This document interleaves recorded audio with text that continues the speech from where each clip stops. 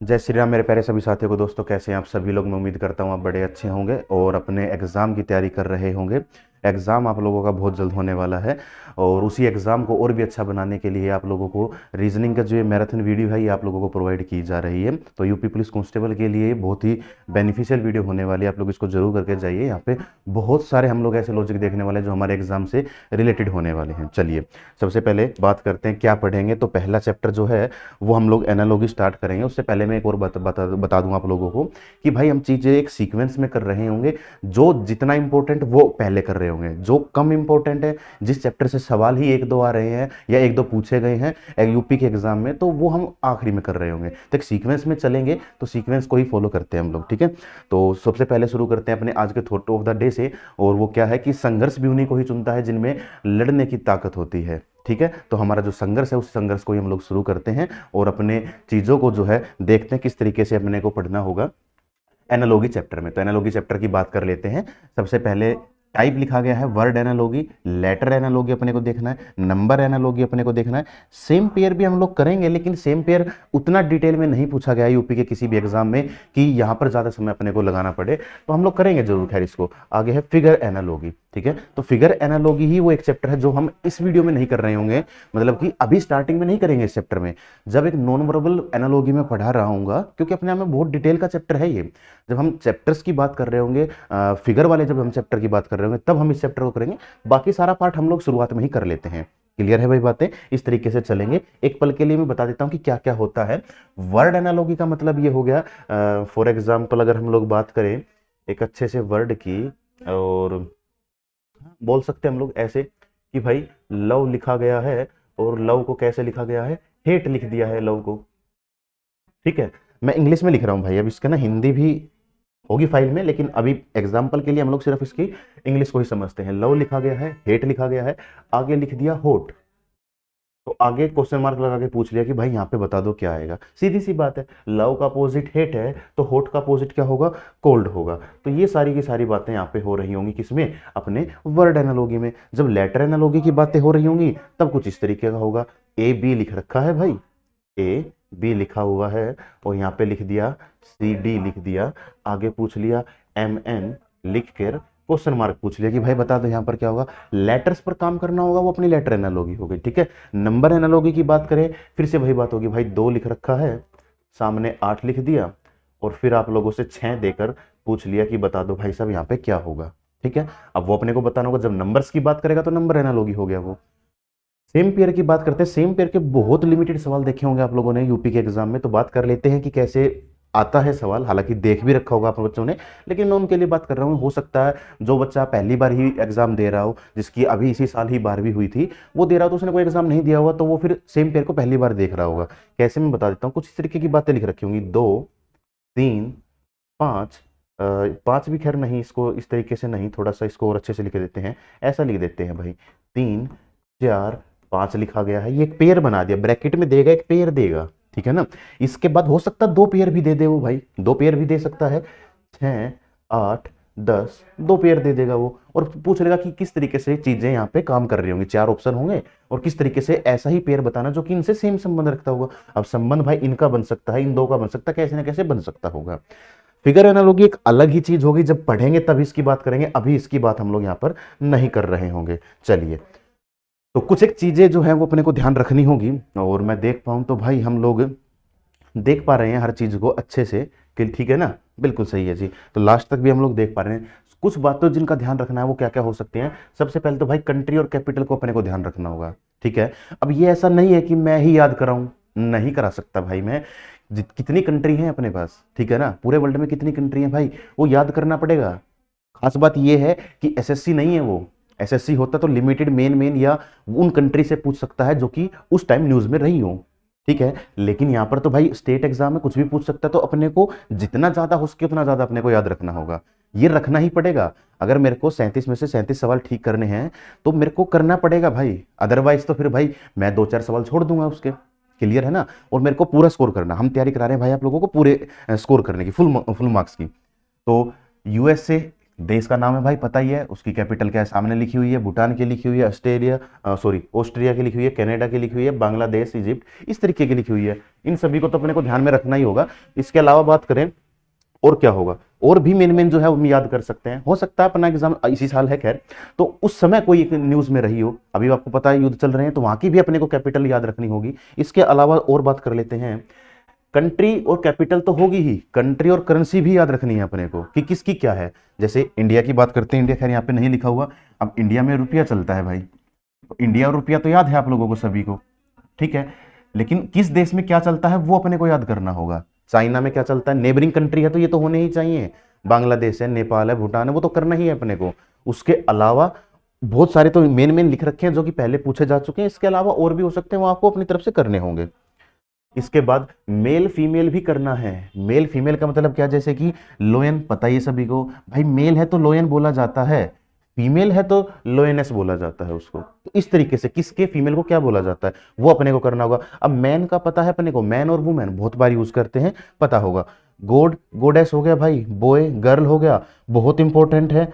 Chairman chair women होता है। ठीक है? आगे हॉर्स का मेयर होगा, ये भी पहले पूछा जा चुका है। इस तरीके कुछ एक चीज़ें यहाँ पर भी लिख रखी हैं। ये करनी ही होगी। डॉग बिच का अपने को पता है। ये भी इंपॉर्टेंट हो गया अपने पास। ये इंपॉर्टेंट है। तो इंपॉर्टेंट चीज़ सामने लिख रखी है। इसके अलावा जितना हम लोग कर सकते हैं, उतना करेंगे ही करेंगे। एग्ज़ाम में नहीं पता कि कहाँ से क्या पूछ ले। करना ही पड़ेगा अपने को। लेकिन लिमिटेड सी चीज़ें सामने लिख रखी हैं। उसके अलावा अपने को करना होगा। आगे टूल और एक्शन लिखे गए हैं। टूल और एक्शन का मतलब क्या होगा कि क्या चीज़ किसके काम आती है? मेरे हाथ में भाई मार्कर है, ठीक है? अब ये किसके काम आता है? ये लिखने के लिए काम आता है। तुम्हारे हाथ में कॉपी पेन होगा तो पेन किसके लिए काम आता है? राइटिंग के लिए। पेंसिल जो है पेंसिल का बहुत बड़ा इंपॉर्टेंट रोल है यहाँ पे। पेंसिल जो है, इसको ध्यान रखना। पेंसिल लिखने के लिए काम नहीं आती है कभी भी। भाई पेंसिल का काम हो गया ड्राइंग करना स्केच करना और शेडिंग करना। पेंसिल इसके काम आती है। लिखने के लिए पेन ही यूज़ होगा। हालाँकि छोटी क्लास में हम पेंसिल से भी लिखते हैं, लेकिन ठीक है, वो दूसरी, तीसरी या चौथी क्लास तक लिखते हैं, उसके बाद पेन स्टार्ट हो जाता है।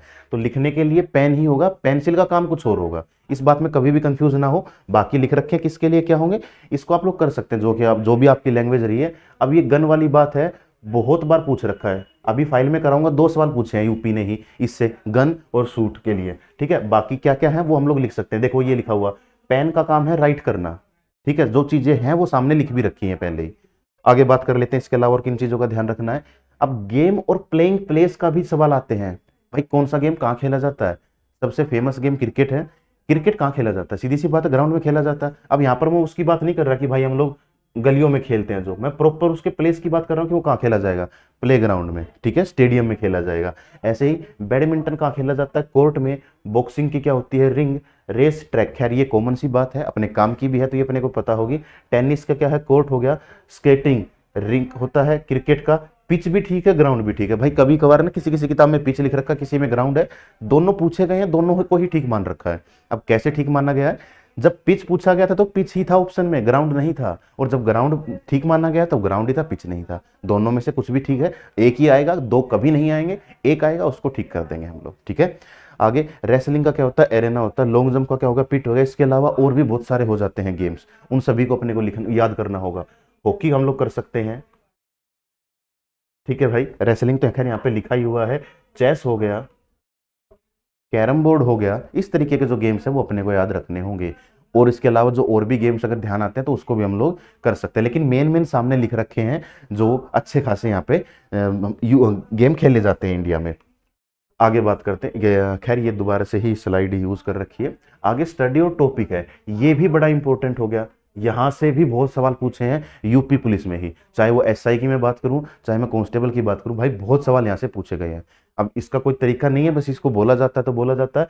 अब स्टडी ऑफ़ एनिमल्स क्या है? जूलॉजी है। खैर कॉमन सी बात है, पता होगी पढ़ने वाले बच्चों को, ये हो गया। लेकिन इसके अलावा भी तो होता है, सारी की सारी चीज़ें सामने लिखी गई हैं। फिजियोलॉजी दो बार पूछा जा चुका है यूपी के एग्ज़ाम में, ठीक है? और बात करें नेफ्रोलॉजी एक बार सवाल पूछा गया है। दोनों के सवाल हम लोग देखेंगे इसी वीडियो में। पूछे जा चुके हैं तभी सामने लिखा हुआ है यहाँ पे राइटिंग के लिए ये हो गया। अच्छा राइटिंग के लिए एक और भी चीज़ यूज़ कर रखी है लेकिन जब हम उस क्वेश्चन करेंगे तभी बात करेंगे उसकी। आगे है इंस्ट्रूमेंट और मेज़रमेंट ठीक है भाई? कि आ, कौन सा इंस्ट्रूमेंट है किस चीज़ को मेजर करने के लिए? हाइट को मेजर करने के लिए क्या होगा भाई? नॉर्मल इंची टेप हम लोग यूज़ करते हैं लेकिन यहाँ पे अलग अलग बातें कर रखी हैं जैसे कि लेंथ को किससे नापा जाएगा भाई? स्केल से नापा जाएगा। ठीक है? स्केल ही होता है इंची टेप स्केल ही अपने आप में देखा हो तो। स्पीड किससे नपेगी भाई? ओडोमीटर से। सभी को पता होगा, बाइक, गाड़ी, कार हम लोग चलाते ही है। वहाँ पर ये चीज़ अपने को पता है, इसमें कोई भी बड़ी बात नहीं होगी। करंट बड़ा इंपॉर्टेंट हो गया। यूपी में ही सवाल पूछा जा चुका। देखेंगे भाई यहाँ पर हम लोग, ठीक है? एम मीटर, उसके लिए करंट किससे मापा जाएगा? एम मीटर से मापा जाएगा। ह्यूमिडिटी हाइग्रोमीटर से नापी जाएगी भाई। अर्थक्वेक सिस्मोग्राफ ये सवाल था। यूपीएसआई में यू सॉरी यूपी कांस्टेबल में ये सवाल पूछा गया है। इन दोनों को मिलाकर दे रखा था यहाँ पर। एमीटर करंट हो गया सिस्मोग्राफ क्वेश्चन मार्क क्या मापेगा वो? इस तरीके का सवाल पूछा जा चुका था। देखेंगे तब यकीन होगा।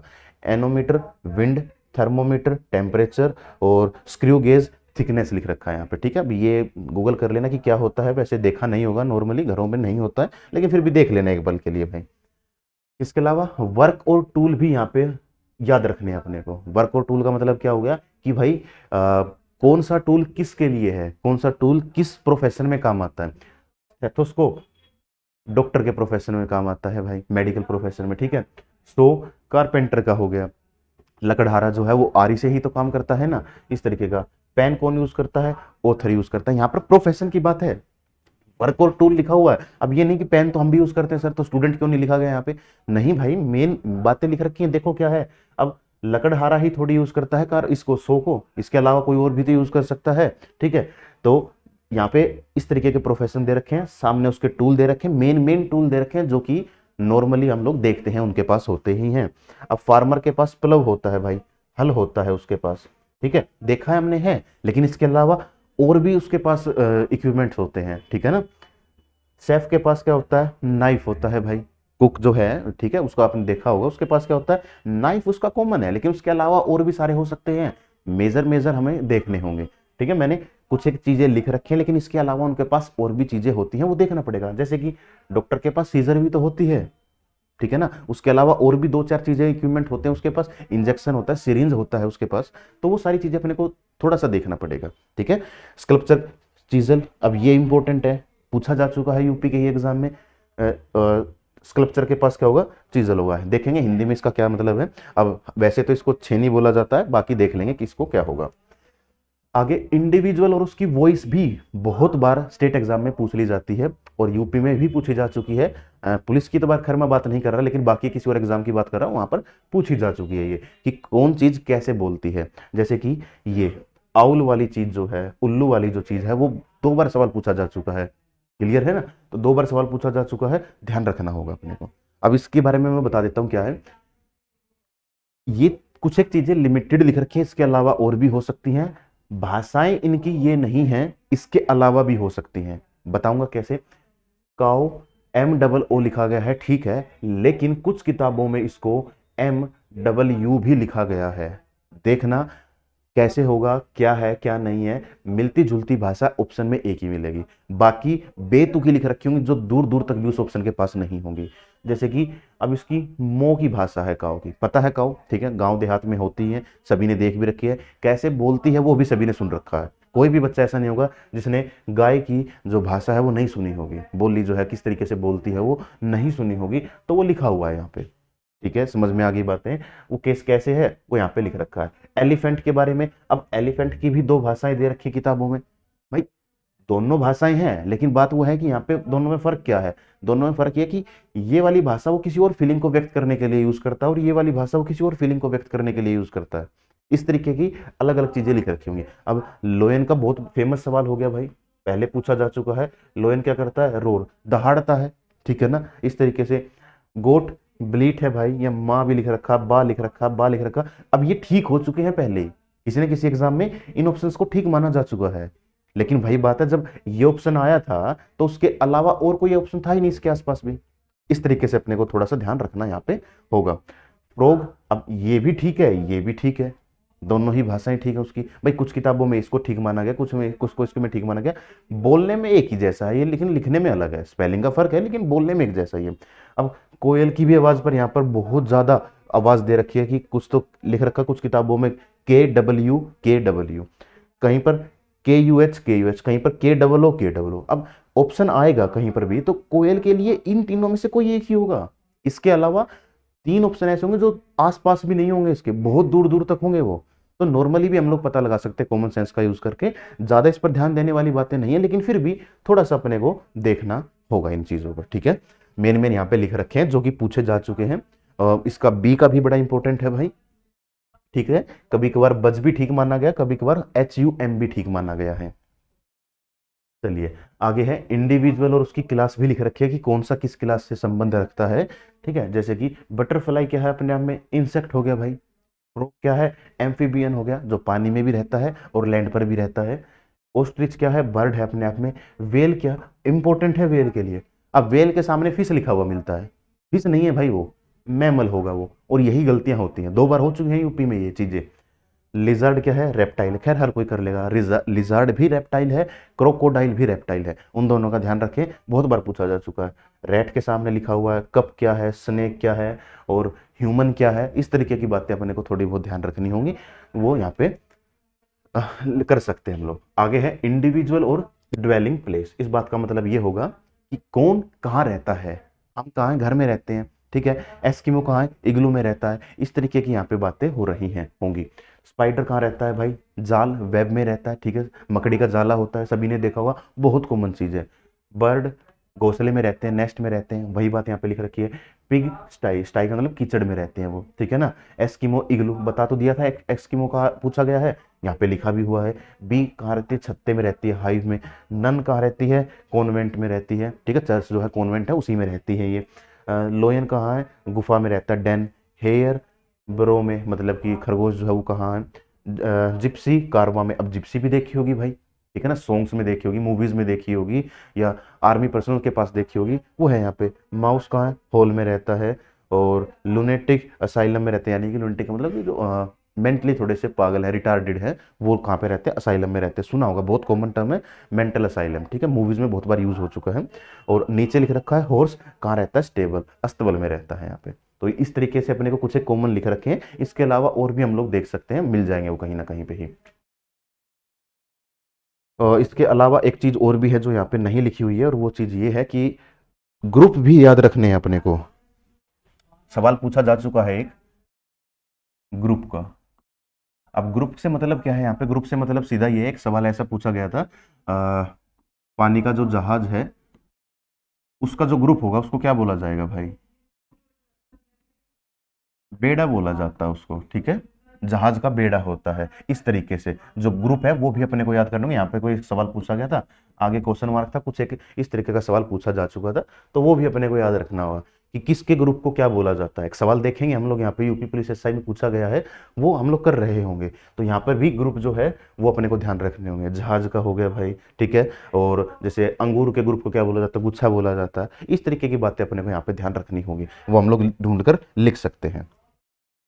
आगे है प्लेस वैल्यू ऑफ़ लेटर्स अब यहाँ पर प्लेस वैल्यू ऑफ़ लेटर का मतलब क्या है कि बहुत बार, क्योंकि जब मैं बता रहा हूँ letter code sorry letter analogy क्या होता है तो वहाँ पे बीच में नहीं सिखाएँगे, यहीं पे ही बात कर लेते हैं। Place value of letter letter की प्लेस वैल्यू सीधी सी बात है भाई, मैं ये कहना चाहता हूँ आप लोगों से कि ए बी सी डी में ए किस स्थान पे आएगा? बी किस स्थान पे आएगा? सी किस स्थान पे होगा? डी कहाँ होगा? ई e कहाँ होगा? एफ़ कहाँ होगा? ये किस स्थान पर आ रहे होंगे? बस वही बातें यहाँ पे हम लोग कर रहे होंगे। अच्छा इसको याद कैसे रखेंगे हम लोग? मैं बता देता हूँ एक पल के लिए, ज़्यादा टाइम तो खर्च नहीं खराब होगा यहाँ पे। ई जे ओ टी वाई से हम लोग यहाँ पे याद रख सकते हैं, ठीक है? और ये कैसे याद रखेंगे भाई? ये अपने आप में आता है पाँच, ये अपने आप में दस, ये अपने आप में पंद्रह, ये आ गया भाई बीसवें स्थान पर, और ये आ गया जी पच्चीसवें स्थान पर। याद रखना बड़ा आसान है, लड़की का ही नाम है स्पेलिंग गलत है, ठीक है, मेरे को भी पता है, लेकिन ठीक है, हम लोग याद रखने के पर्पज से इसको याद रख सकते हैं। ई जे ओ टी वाई पाँच, दस, पंद्रह, बीस, पच्चीस, याद रख लेंगे, काम चल जाएगा। ए बी सी डी का सभी को पता है, आगे एफ़ हो गया। फिक्स सिक्स से याद रख सकते हैं। जी की अगर मैं बात करूँ जी में तो भाई मेरे को अपने आप में ही सात दिखता है तो मैं सात हो गया। एच की मैं बात करता हूँ तो एच भी हो गया। या तो डिजिटल फॉर्म का आठ बना लेंगे, थोड़ा सा मॉडिफाई करेंगे, एक लाइन ऊपर, एक लाइन ऊपर और एक नीचे लगाएँगे तो डिजिटल फॉर्म का आठ बन जाएगा। ठीक है?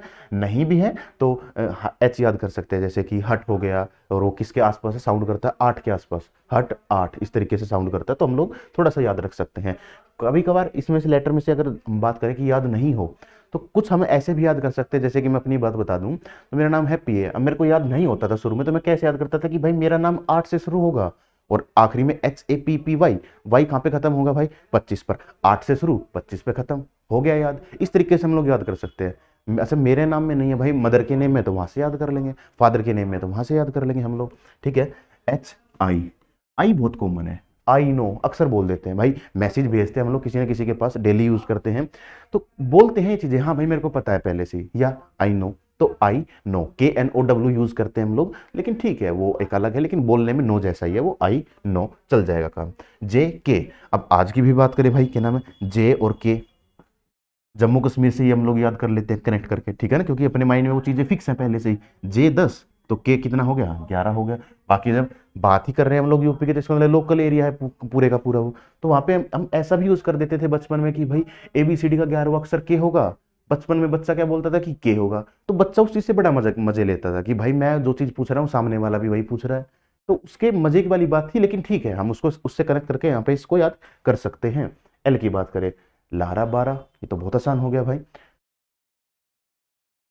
एम एम भी याद कर सकते एम एम एम में तो खुद ही तीन दिख रहा है। तीन दिखा तो इसका मतलब ये कौन सा तीन होगा? भाई या तो शुरू का तीन है।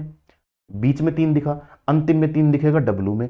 तो इसमें आते कितने होते हैं? लेटर ये होते हैं एक से छब्बीस। तो पहला तीन सी है, बीच वाला तीन आएगा तेरह तो तेरह ये हो गया, और फिर तेईस आएगा, तेईस वाला ये हो जाएगा। तैंतीस कुछ होता ही नहीं है, ठीक है ना? तो इस तरीके से हम लोग इसको कनेक्ट करके याद कर सकते हैं। अच्छा एम तेरह हो गया तो एन कितना हो जाएगा? फोर्टीन हो जाएगा, चौदह हो जाएगा। ओ हम लोग याद कर सकते हैं, पंद्रह हो जाएगा, कोई दिक्कत भी नहीं है। पी की बात कर लेते हैं ओ पंद्रह है तो पी कितना हो जाएगा? सोलह हो जाएगा। क्यू की बात कर लेते हैं। अच्छा अब पी क्यू को भी एक साथ याद कर सकते हैं। या तो ओ पी को एक साथ याद कर लो, या पी क्यू को एक साथ याद कर लो, ठीक है? अब पी क्यों ठीक है, कोई दिक्कत नहीं है, इसको हम ऐसे याद नहीं समझ सकते इससे समझ लेंगे। पी क्यों अब भाई, कोई पूछ ले कि भाई पी क्यों क्योंकि 16 17 दिन हो चुके थे, इसीलिए पी ली। अब भाई पी के लिए 16 क्यू के लिए 17 बड़ा आसान है। पी क्यों? क्योंकि 16 17 दिन हो चुके थे तो 16 17 पी का 16 क्यू का 17 हो गया। अब आर को हम लोग याद कर देंगे 18 के लिए, ठीक है? कोई बच्चा जिसका नाम रोहित है, रवि है, वो यहाँ से याद कर ले, क्योंकि आठ के लिए उतना, सॉरी, आर के लिए उतना थोड़ा सा कोई एक अच्छा सा टर्म यूज़ नहीं होता है तो हम इसको याद कर सकते हैं। एस के लिए बात कर लेते हैं। एस भी हो जाएगा याद। कैसे? भाई टी ट्वेंटी मैच का फॉर्मेट है टी ट्वेंटी बिस्किट है, अपने को पता है। वहाँ से याद कर सकते हैं। दूसरा, हम लोग इस तरीके से याद कर सकते हैं। अभी अभी फॉर्म फिल हो रहे हैं। तो हमने फॉर्म फिल किया है। जब फॉर्म फिल किया है तो साइबर कैफ़े वाले ने पूछा होगा कि, भाई, आपकी कैटेगरी क्या है? जर्नल है बीसी है ओबीसी है, क्या है? तो एसटी ये भी आया होगा। एस टी सबसे छोटा शब्द है जिससे हम लोग याद कर कनेक्ट करके याद कर सकते हैं। टी ट्वेंटी है तो एस कितना हो जाएगा? नाइनटीन हो जाएगा। दोनों साथ आते हैं, हर बच्चे ने सुन रखा है। एग्ज़ाम देने बैठेगा तो इसका मतलब उसने फॉर्म फिल किया है। फॉर्म फिल किया इसका मतलब साइबर कैफ़े वाले ने उससे ज़रूर पूछा कि भाई अपनी कैटेगरी बताओ, क्या होगी? वहाँ से हम लोग इससे याद, इसको याद कर सकते हैं। क्लियर है? हर बच्चे ने सुना होगा, इसमें गड़बड़ नहीं करेंगे हम कभी भी। क्लियर है? टी हो गया। अब यू को ध्यान रखेंगे वी को ध्यान रखेंगे। ठीक है? यू अंडर ट्वेंटी वन इस तरीके से हम लोग याद कर सकते हैं, ठीक है ना? अंडर ट्वेंटी वन इसको इस तरीके से हम लोग याद कर सकते हैं। वी बाईस हो गया। अब भाई वी में तो क्या है? ये एक लाइन दिखी, ये दो लाइन दिखी। तो दो लाइन दो बार इस तरीके से हम लोग याद कर सकते हैं। वी बाईस, ठीक है ना? डब्लू मैं पहले ही बता चुका हूँ, तीन दिखा। अरे तीन तीन ही बार आएगा। तीन, एक और तीन तेरह, दो और तीन तेईस। इस तरीके से याद कर सकते हैं। एक्स की बात करें तो एक्स का स्थान हो जाएगा कितना? ट्वेंटी फोर हो जाएगा। क्लियर है बातें? पक्का? एक्स का स्थान कितना आ जाएगा? Twenty four. डब्ल्यू तेईस है तो एक्स का कितना हो जाएगा? चौबीस। वाई का कितना है? पच्चीस। और जेड का कितना हो जाएगा भाई? जेड का है जी छब्बीस। ठीक है? अब एक्स की बात कर लेते हैं। एक्स क्या है? अब ये एक्स से हम लोग नहीं समझ पा रहे, लेकिन इससे एक्स से समझ पाएँगे हम लोग, ठीक है? ये क्या है? वही कॉमन टर्म जो कि हम लोग अक्सर चैटिंग करते वक्त यूज़ कर लेते हैं। फेसबुक व्हाट्सअप या टेलीग्राम वगैरह पे यूज़ कर लेते हैं। एक्स अब आज के इससे हम लोग कनेक्ट कर ही पाएँगे कैसे? भाई, आज का समय इतना खराब है कि एक्स की बात करें तो आजकल दो चार तो एक्स सभी के होंगे। दो चार दो चार चौबीस, हो गया याद ये तो? यहीं पे जेड का स्थान छब्बीस है, ठीक है। मेन चीज़ जो यहाँ पे ध्यान रखनी है वो चीज़ ये है कि यू और वी में हम लोग करेंगे गलतियाँ। गलती कैसे होगी वो मैं बता देता हूँ। एग्ज़ाम टाइम में हाथ काम करेगा जल्दी। अब जल्दी काम करते वक्त रफ सीट पे पता ही नहीं चलेगा कि लिख क्या दिया। यू लिखा है या वी लिखा है। अब लिखा ही गलत है तो सीधी सी बात है उसकी वैल्यू भी गलत लिखेंगे। वैल्यू भी गलत है तो आंसर भी गलत आ रहा होगा उसका। इस तरीके से इसमें गलतियाँ होंगी तो इस पर ध्यान देंगे हम लोग। यू और वी में जैसे तुम लोग लिखते हो, जैसे तुम्हारी राइटिंग है, उसको बड़े ध्यान से देख कर लिखना। वो उसी तरीके से चीज़ें चलेंगी फिर आगे, ठीक है? आगे बात कर लेते हैं। अब अपोजिट वैल्यू से मतलब क्या है? अपोजिट वैल्यू से मतलब ये हुआ कि भाई, अगर एक तरफ़ से स्टार्टिंग से पहले स्थान पर ए है तो पीछे से पहले स्थान पर क्या होगा?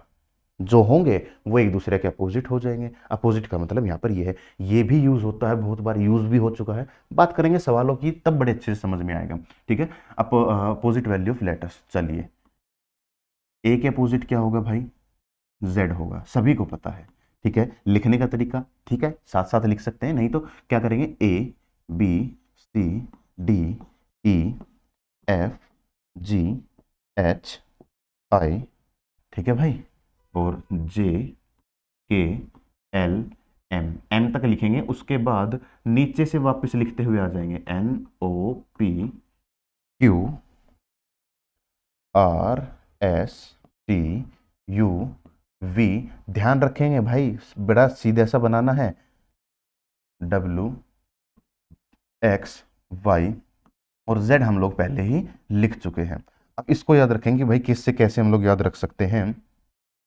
तो ए जेड हर बच्चे को याद होगा क्योंकि पहला उधर से पहला ए है, अंतिम से पहला जेड होगा। इसमें कोई भी डाउट नहीं होगा। तो बड़ा आसान है, याद रख सकते हैं, याद नहीं हो तो भाई आज़ाद नाम से याद रख सकते हैं A Z A D B Y by से याद रख सकते हैं। बाय कौन सा? साधन वाला बाय। मैं किससे लिख रहा हूँ? By marker. तुम कैसे लिख रहे हो? By pen.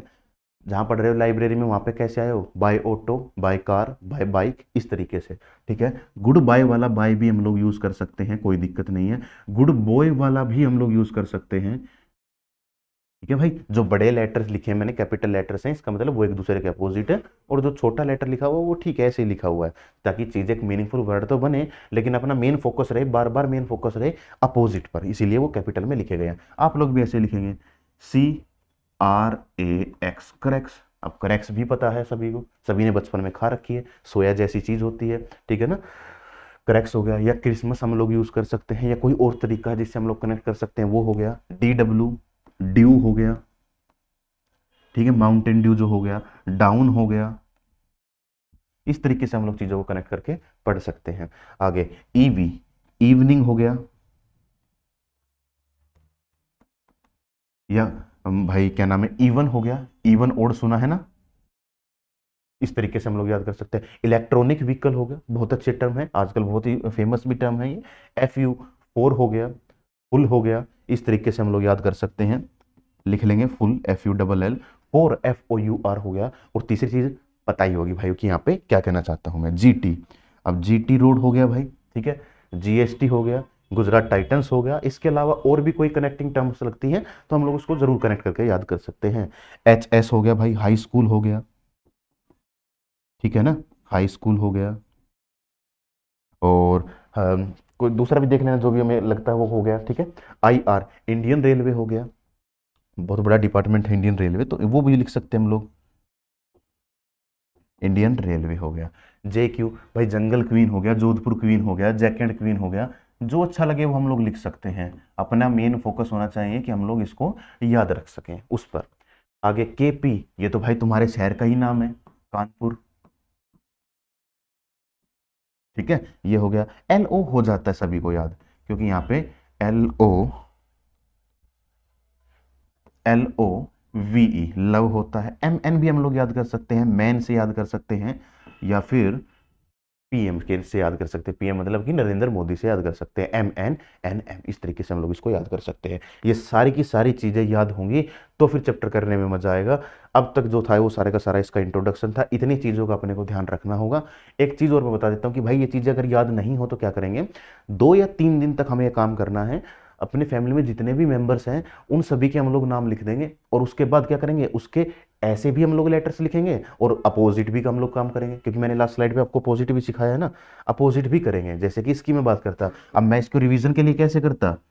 भाई अपना ही नाम लिख देता इस पर एग्ज़ाम्पल के लिए, और उसकी प्लेस वैल्यू देखता। एच का स्थान आठ है, एक है पी का स्थान सोलह। पी क्यों? सोलह सत्रह दिन हो चुके थे। भाई सोलह सत्रह दिन हो चुके थे। वाई का स्थान कितना हो गया? भाई पच्चीस हो चुका है। अब इसमें भी सेम ऐसा ही काम करेंगे। अपना नाम लिखेंगे और उसकी फिर प्रैक्टिस करेंगे हम लोग। एच का अपोजिट हाई स्कूल या फिर ये तो ऐसे भी कर लो, भाई हैप्पी सर हो गया ए जेड आज़ाद हो गया, वैसे खैर याद हो जाता, कोई दिक्कत नहीं। के पी कानपुर हो गया। अच्छा इसको हम लोग एक और तरीके से भी देख सकते हैं। एक मूवी आई थी पी के वहाँ से भी हम लोग कनेक्ट करके याद रख सकते हैं इसको। पी के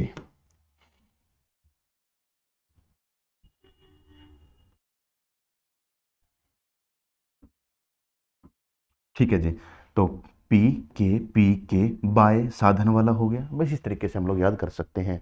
फिर भी नहीं हो हो सकता फिर भी डाउट आए तो क्या करें? कोई भी इंग्लिश की एक बुक उठा लो, एक लाइन है, उसको इस फॉर्मेट और पिछले फॉर्मेट में लिख के देख लो, ठीक है? इतना काम हम लोग कर लेंगे। उसके बाद देखते हैं भाई चैप्टर में क्या क्या सवाल है। चलिए, सवाल लिखा गया है, कब पूछा गया है, किस शिफ्ट में पूछा गया, सामने वो लिखा गया है। इसमें कोई भी डाउट यहाँ पर नहीं होगा। इसके बाद हम लोग बात करेंगे धीरे धीरे टाइप वाइज चीज़ों की तरफ़ ही चल रहे होंगे। तो चलिए, पहले क्वेश्चन लिखा गया है, ये मेन सवाल है, कब आया है, ये लिखा हुआ है यहाँ पे। अब इसकी हम लोग बात करते हैं कि इसको कैसे सॉल्व करेंगे। ये सोल्व कब होगा? ये तब सोल्व होगा जब अपने को इनकी प्लेस वैल्यू पता होगी। अब ऐसा नहीं करेंगे कि एग्ज़ाम में रफ सीट पर ही लिख रहे हैं, पहले ए बी सी डी फिर उसका अपोजिट लिख रहे हैं। कब तक लिखोगे और कब तक ढूंढोगे? तो पेपर ही कंप्लीट नहीं हो पाएगा। तो उसके लिए अपने को प्लेस वैल्यू याद होनी चाहिए। प्लेस वैल्यू की बात करें ई e का स्थान कितना है भाई? पाँच हो गया। एच का स्थान आठ हो गया। ये बाईस है, ये उन्नीस हो गया। ये तेरह है, ये जे कितने पे होगा? दस। जे के ई जे ओ टी वाई जे दस पे था ना, यहाँ पे वो लिख दिया है। ठीक है? अब वो भी याद है अपोजिट भी याद है। तब मज़ा आएगा काम करने में। कैसे? मैंने देखा इधर पहले स्थान पर ई e लिखा हुआ है और इधर पहले स्थान पर वी लिखा हुआ है। ये तो मैंने को याद था, मैंने देखा था, कहाँ देखा था? मैंने अपोजिट में देखा था। ई e का अपोजिट क्या होगा? V evening even electronic vehicle वहाँ से हमने इसको याद किया था। ठीक है? एच की बात करें तो एच क्या होगा भाई? एच का अपोजिट बताया तो था। High school happy sir Honey Singh जो भी है याद कर सकते हैं हम लोग। अब एम का अपोजिट बताना है, क्या होगा? एम का अपोजिट अब एम का अपोजिट मेरे को पता है नरेंद्र मोदी या मैन से मैंने कनेक्ट किया था तो एन आएगा। ऐसा ऑप्शन ठीक है जिसमें पहले एन है। भाई दो ऑप्शन मिल गए। काम तो ऑप्शन बेस भी करना है ना अपने को। ठीक है, अब दूसरा भी पता लगा लो। दूसरे में देखा जे को कैसे कनेक्ट किया था? जंगल क्वीन से, जोधपुर क्वीन से जैक एंड क्वीन से, जैसे चाहे वैसे हम लोग इसको याद कर सकते थे। तो यहाँ पे क्या आ जाएगा? क्यू आ जाएगा। एन क्यू कहाँ है? ऑप्शन नंबर डी में। ऑप्शन नंबर डी मेरा यहाँ पे राइट आंसर हो जाएगा। बड़े प्यार से सवाल होने वाला था। बस मेरे को दोनों चीज़ें पता हो। प्लेस वैल्यूज़ भी पता हो। उनके अपोजिट लेटर्स भी पता हो। और धीरे धीरे धीरे धीरे थोड़ा थोड़ा थोड़ा थोड़ा कहीं ना कहीं फ़र्क हो रहा होगा। वो काम हम लोग यहाँ पर कर सकते हैं। बस इतना सही यहाँ पे आ, काम करना है अपने को। चलिए अब ये दूसरा सवाल लिखा हुआ है सामने। ठीक है बात कर लेते हैं कैसे? ए बी यहाँ पे डी एच लिखा गया है। अब यहाँ पे लिखा गया है डी ई तो आगे क्या आएगा? वो देखना है अपने को। भाई ए से डी कैसे आया है? ए का स्थान एक डी का स्थान चार। अगर सर प्लस तीन कर दोगे ना तो आ जाएगा। कोई दिक्कत ही नहीं है। बी से एच कैसे आया है? बी से एच भाई बी का स्थान है दो और एच का स्थान है कितना? आठ हो गया। अब यहाँ पे क्या किया गया है? यहाँ पे प्लस है किया गया है। तभी तो आएगा। अब ऐसी बात है तो इसको हम लोग देख लेते हैं। अब डी का स्थान है ये। डी में अगर मैं प्लस तीन कर देता हूँ तो यहाँ पर कितना बनेगा? डी का स्थान है चार। चार और तीन हो गया सात। तो इसका मतलब यहाँ पे जी आना चाहिए था। अब जी का देखा जी का यहाँ पर कोई ऑप्शन ही नहीं है। एक पल के लिए देख लेते हैं। बी दो था एच था आठ यानी कि प्लस का छः था। अब प्लस का छः करेंगे तो ई e, ई e का स्थान है पाँच। छः और पाँच हो गया ग्यारह। ग्यारह के लिए कितना आना चाहिए था? जी के आना चाहिए था। लेकिन यहाँ पर जी के है ही नहीं। इस बात का मतलब ये हुआ कि यहाँ पे ये लॉजिक ऐसा लग ही नहीं रहा है। लॉजिक कुछ और तरीके से लगा होगा। अब और तरीके से है तो वो फिर अपने को थोड़ा सा भाई देखना पड़ेगा इसमें। ठीक है? ए बी सामने लिखा हुआ है। ए बी यहाँ पर डिफरेंस कितने का है? एक किसी का भी डिफरेंस नहीं तो इसका मतलब यहाँ पर ज़ीरो का डिफरेंस है। आगे देखा, यहाँ पे इसका दुगुना लिखा हुआ है। भाई ये चार है, ये आठ आ गया। तभी तो है। चलो ठीक है, अब इसकी बात कर लेते हैं। ये कितना है?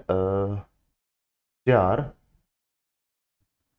और इसके सामने पाँच लिखा गया है। पाँच हाँ बिल्कुल ठीक बात है, चार, पाँच। तो यहाँ पर भी डिफरेंस कितने का है? ज़ीरो का। अब आगे एक ऐसा ऑप्शन ठीक हो सकता है, जो कि इसका आगे वाले लेटर की प्लेस वैल्यू का दुगना जो है वो पीछे लिख रखा हो। ठीक है, समझ में आ गया? इसका देखा सोलह दूना दो बत्तीस। नहीं भाई, यू तो होता ही नहीं है। सोलह और बीस लिख रखा है, सत्रह और बीस लिख रखा है, सत्रह और इक्कीस लिख रखा है। अब दिक्कत ये आगे कि यहाँ पे क्या करें? तो यहाँ पे हमने देखा कि दुगुना तो नहीं है, इसका मतलब कुछ और भी हो सकता है। और क्या हो सकता है? भाई दूसरे वाले में डिफरेंस कितना आना चाहिए? चार का। दूसरे वाले में भाई पहले में डिफरेंस एक का, दूसरे में डिफरेंस चार। सॉरी एक का नहीं भाई ज़ीरो का ज़ीरो का। यहाँ पे एक नहीं ज़ीरो का। भाई पहले में डिफरेंस ही नहीं है, कितने का है? ज़ीरो का। दूसरे में डिफरेंस है चार का। अगले में डिफरेंस है ज़ीरो का। अगले में डिफरेंस होना चाहिए था चार का। चार का डिफरेंस देखते हैं कहाँ पे होगा। पी सोलह टी बीस, सोलह और चार बीस हो गया। तो ये अपने यहाँ पे राइट आंसर हो जाएगा। सोलह, पाँच का डिफरेंस है भाई, गलत हो गया। सत्रह और तीन का है, गलत हो गया। सत्रह और चार का है, गलत हो गया। सत्रह और चार का है। हाँ यहाँ पर भी दो ऑप्शन आ गए। तो इसका मतलब ये हुआ कि कहीं पर कोई एक टाइपिंग मिस्टेक हो सकती है, क्योंकि दो ऑप्शन जो है सेम हो ही नहीं सकते यहाँ पर। इसी के अलावा चार डी एच अपोजिट भी किसी का नहीं लग रहा। है ए का अपोजिट जेड होगा बी का अपोजिट वाई होगा, वो नहीं है। डी का अपोजिट डब्ल्यू होगा ई e का अपोजिट वी होगा, ऐसा भी कर कोई ऑप्शन यहाँ पर नहीं लिखा हुआ। खैर, उससे कोई फ़र्क नहीं पड़ेगा। तीन पॉसिबल चीज़ें हो सकती थी। पहली ये डिफरेंस देखेंगे। ध्यान रखें, ये ही लॉजिक होते हैं कहीं ना कहीं। दूसरा लॉजिक ये होगा कि अपोजिट हो सकते हैं। अपोजिट नहीं है। और तीसरा लॉजिक मैंने बताया था मल्टीप्लाई वाला भाई। तो तीन लॉजिक देखे, तीनों नहीं लगे, इस तरीके से ये लॉजिक अपने को यहाँ पर देखने होंगे। आगे देखते हैं। मैजिक लिखा हुआ है। विच कैसे बना होगा वो देखते हैं। सबसे पहले इनकी प्लेस वैल्यू पता होनी चाहिए। इसका है भाई थर्टीन इसका है फोर्टीन तो यहाँ से यहाँ कितना हुआ है? प्लस वन हुआ है। तो तेईस और एक, चौबीस। क्योंकि डब्लू का बताया तो था, तीन आ गया। तीन आ गया। एक ऐड होगा, कितना बनेगा? चौबीस। चौबीस का मतलब एक्स अब एक्स से देखो। एक्स का ये रहा एक्स का ये रहा, ये आंसर तो कभी नहीं ठीक हो सकते। चलिए ए से सी ये एक, ये तीन, अब यहाँ पे प्लस का दो हो गया। तो यहाँ पे आई आई की बात कर लेते हैं, नौ।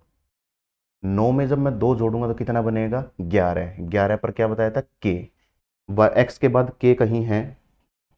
ये क्रॉस जो है वो गलत लगा दिया। क्रॉस यहाँ पे होगा। एक्स के बाद के है एक्स के बाद के है। चलिए जी जी का स्थान सात, जे का स्थान दस। तो यहाँ पे आ गया भाई प्लस का तीन, सात और तीन दस। यहाँ पे देखते हैं, टी का स्थान बताया था बीस बीस जमा तीन, तेईस तेईस पर था डब्लू। डब्लू यहाँ है, यहाँ नहीं है, ये गलत, यही मेरा यहाँ पे राइट आंसर हो जाएगा। इस तरीके से हमने को चीज़ें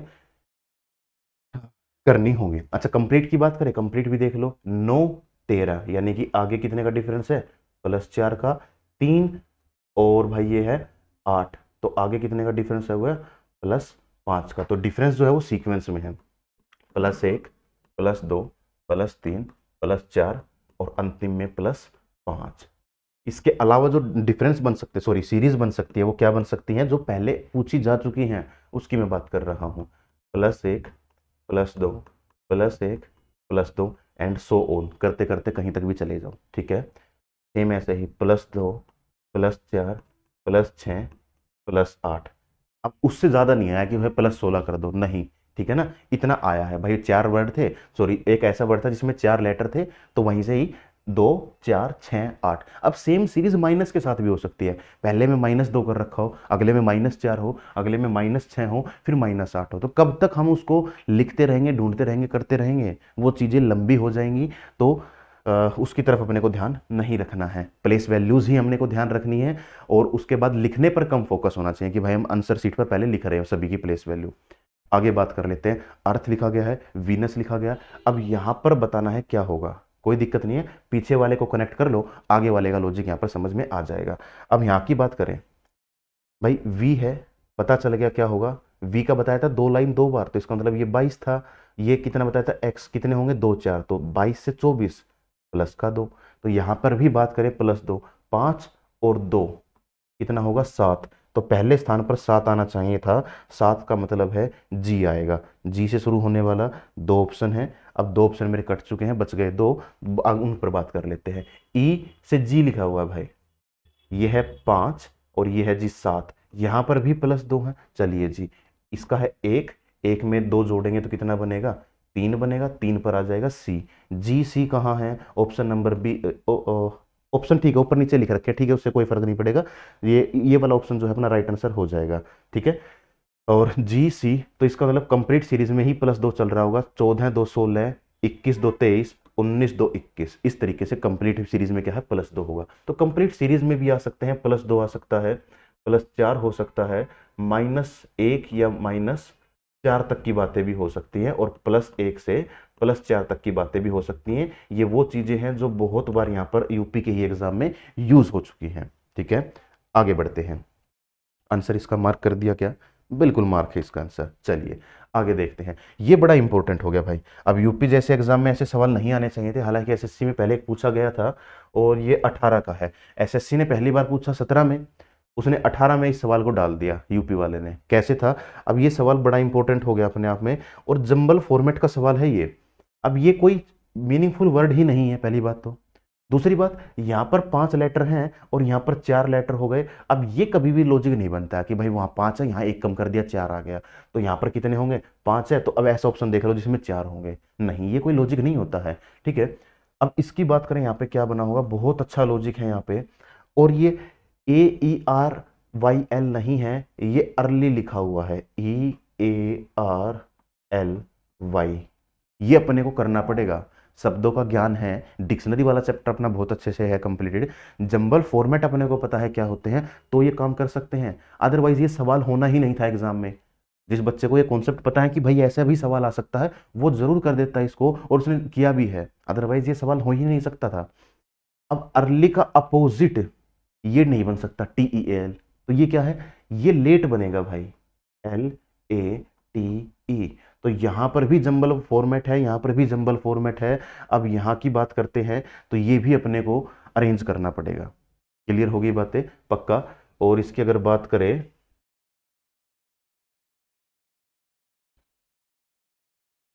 ऑप्शन को देखते हैं तो कहीं पे कुछ मिलेगा क्या? Y A H P P I P भी नहीं बन रहा। कोई एक मीनिंगफुल वर्ड ही बनेगा फ़िलहाल। देखना पड़ेगा क्या होगा यहाँ पे। P P Y A H O happy ही बनेगा ये तो। ठीक है भाई, ये तो हैप्पी ही बन रहा है। अब इसका अपोजिट क्या होगा? अब यहाँ पर भी खास बात है। खास बात ये है, इसका अपोजिट सैड भी हो सकता है और डी ए एस भी हो सकता है। मान के चलो यही दो ऑप्शन आ गए हैं। ठीक है? अब आ गए तो क्या करें भाई? कौन सा ठीक करें? सैड को ठीक कर दें। भाई जंबल वर्ड का पता लगा लिया। ठीक है? इसका तीनों का पता लगा लिया आंसर का पता लगा लिया और सैड को टिक करके आ गए। यही गलती कर दी हम लोगों ने। गलती क्यों हो गई? गलती इसलिए हो गई भाई, क्योंकि सैड ठीक ही नहीं है। अपने को आंसर भी उसी भाषा में देना देखो, ये भी जंबल था तो ये भी जंबल था। अब ये भी जंबल है तो आंसर भी जंबल होना चाहिए। यानी जिस ऑप्शन में सैड लिखा है, वो ठीक नहीं, वो तो गलत हो गया। तो ये फॉर्मेट पहचानना है, जंबल वाला ही फॉर्मेट कहाँ पे होगा? वो हमने देखा, ऑप्शन नंबर बी में है। इसके अलावा किसी और में वो चीज़ यहाँ पे है ही नहीं। ठीक है? समझ में आ गया? बहुत इंपॉर्टेंट सवाल है। ऐसा सवाल नहीं आता है, बहुत रेयर किसी का शिफ्ट में आता है और कहाँ आया है, वो सामने लिखा हुआ है। क्लियर हो गई बातें? चलें आगे। आगे देखते हैं यहाँ पे। अब ऐसे भी सवाल आ जाते हैं थोड़ा सा लेंदी हो जाता है टाइम टेकिंग हो जाता है, लेकिन फिर भी क्या करें?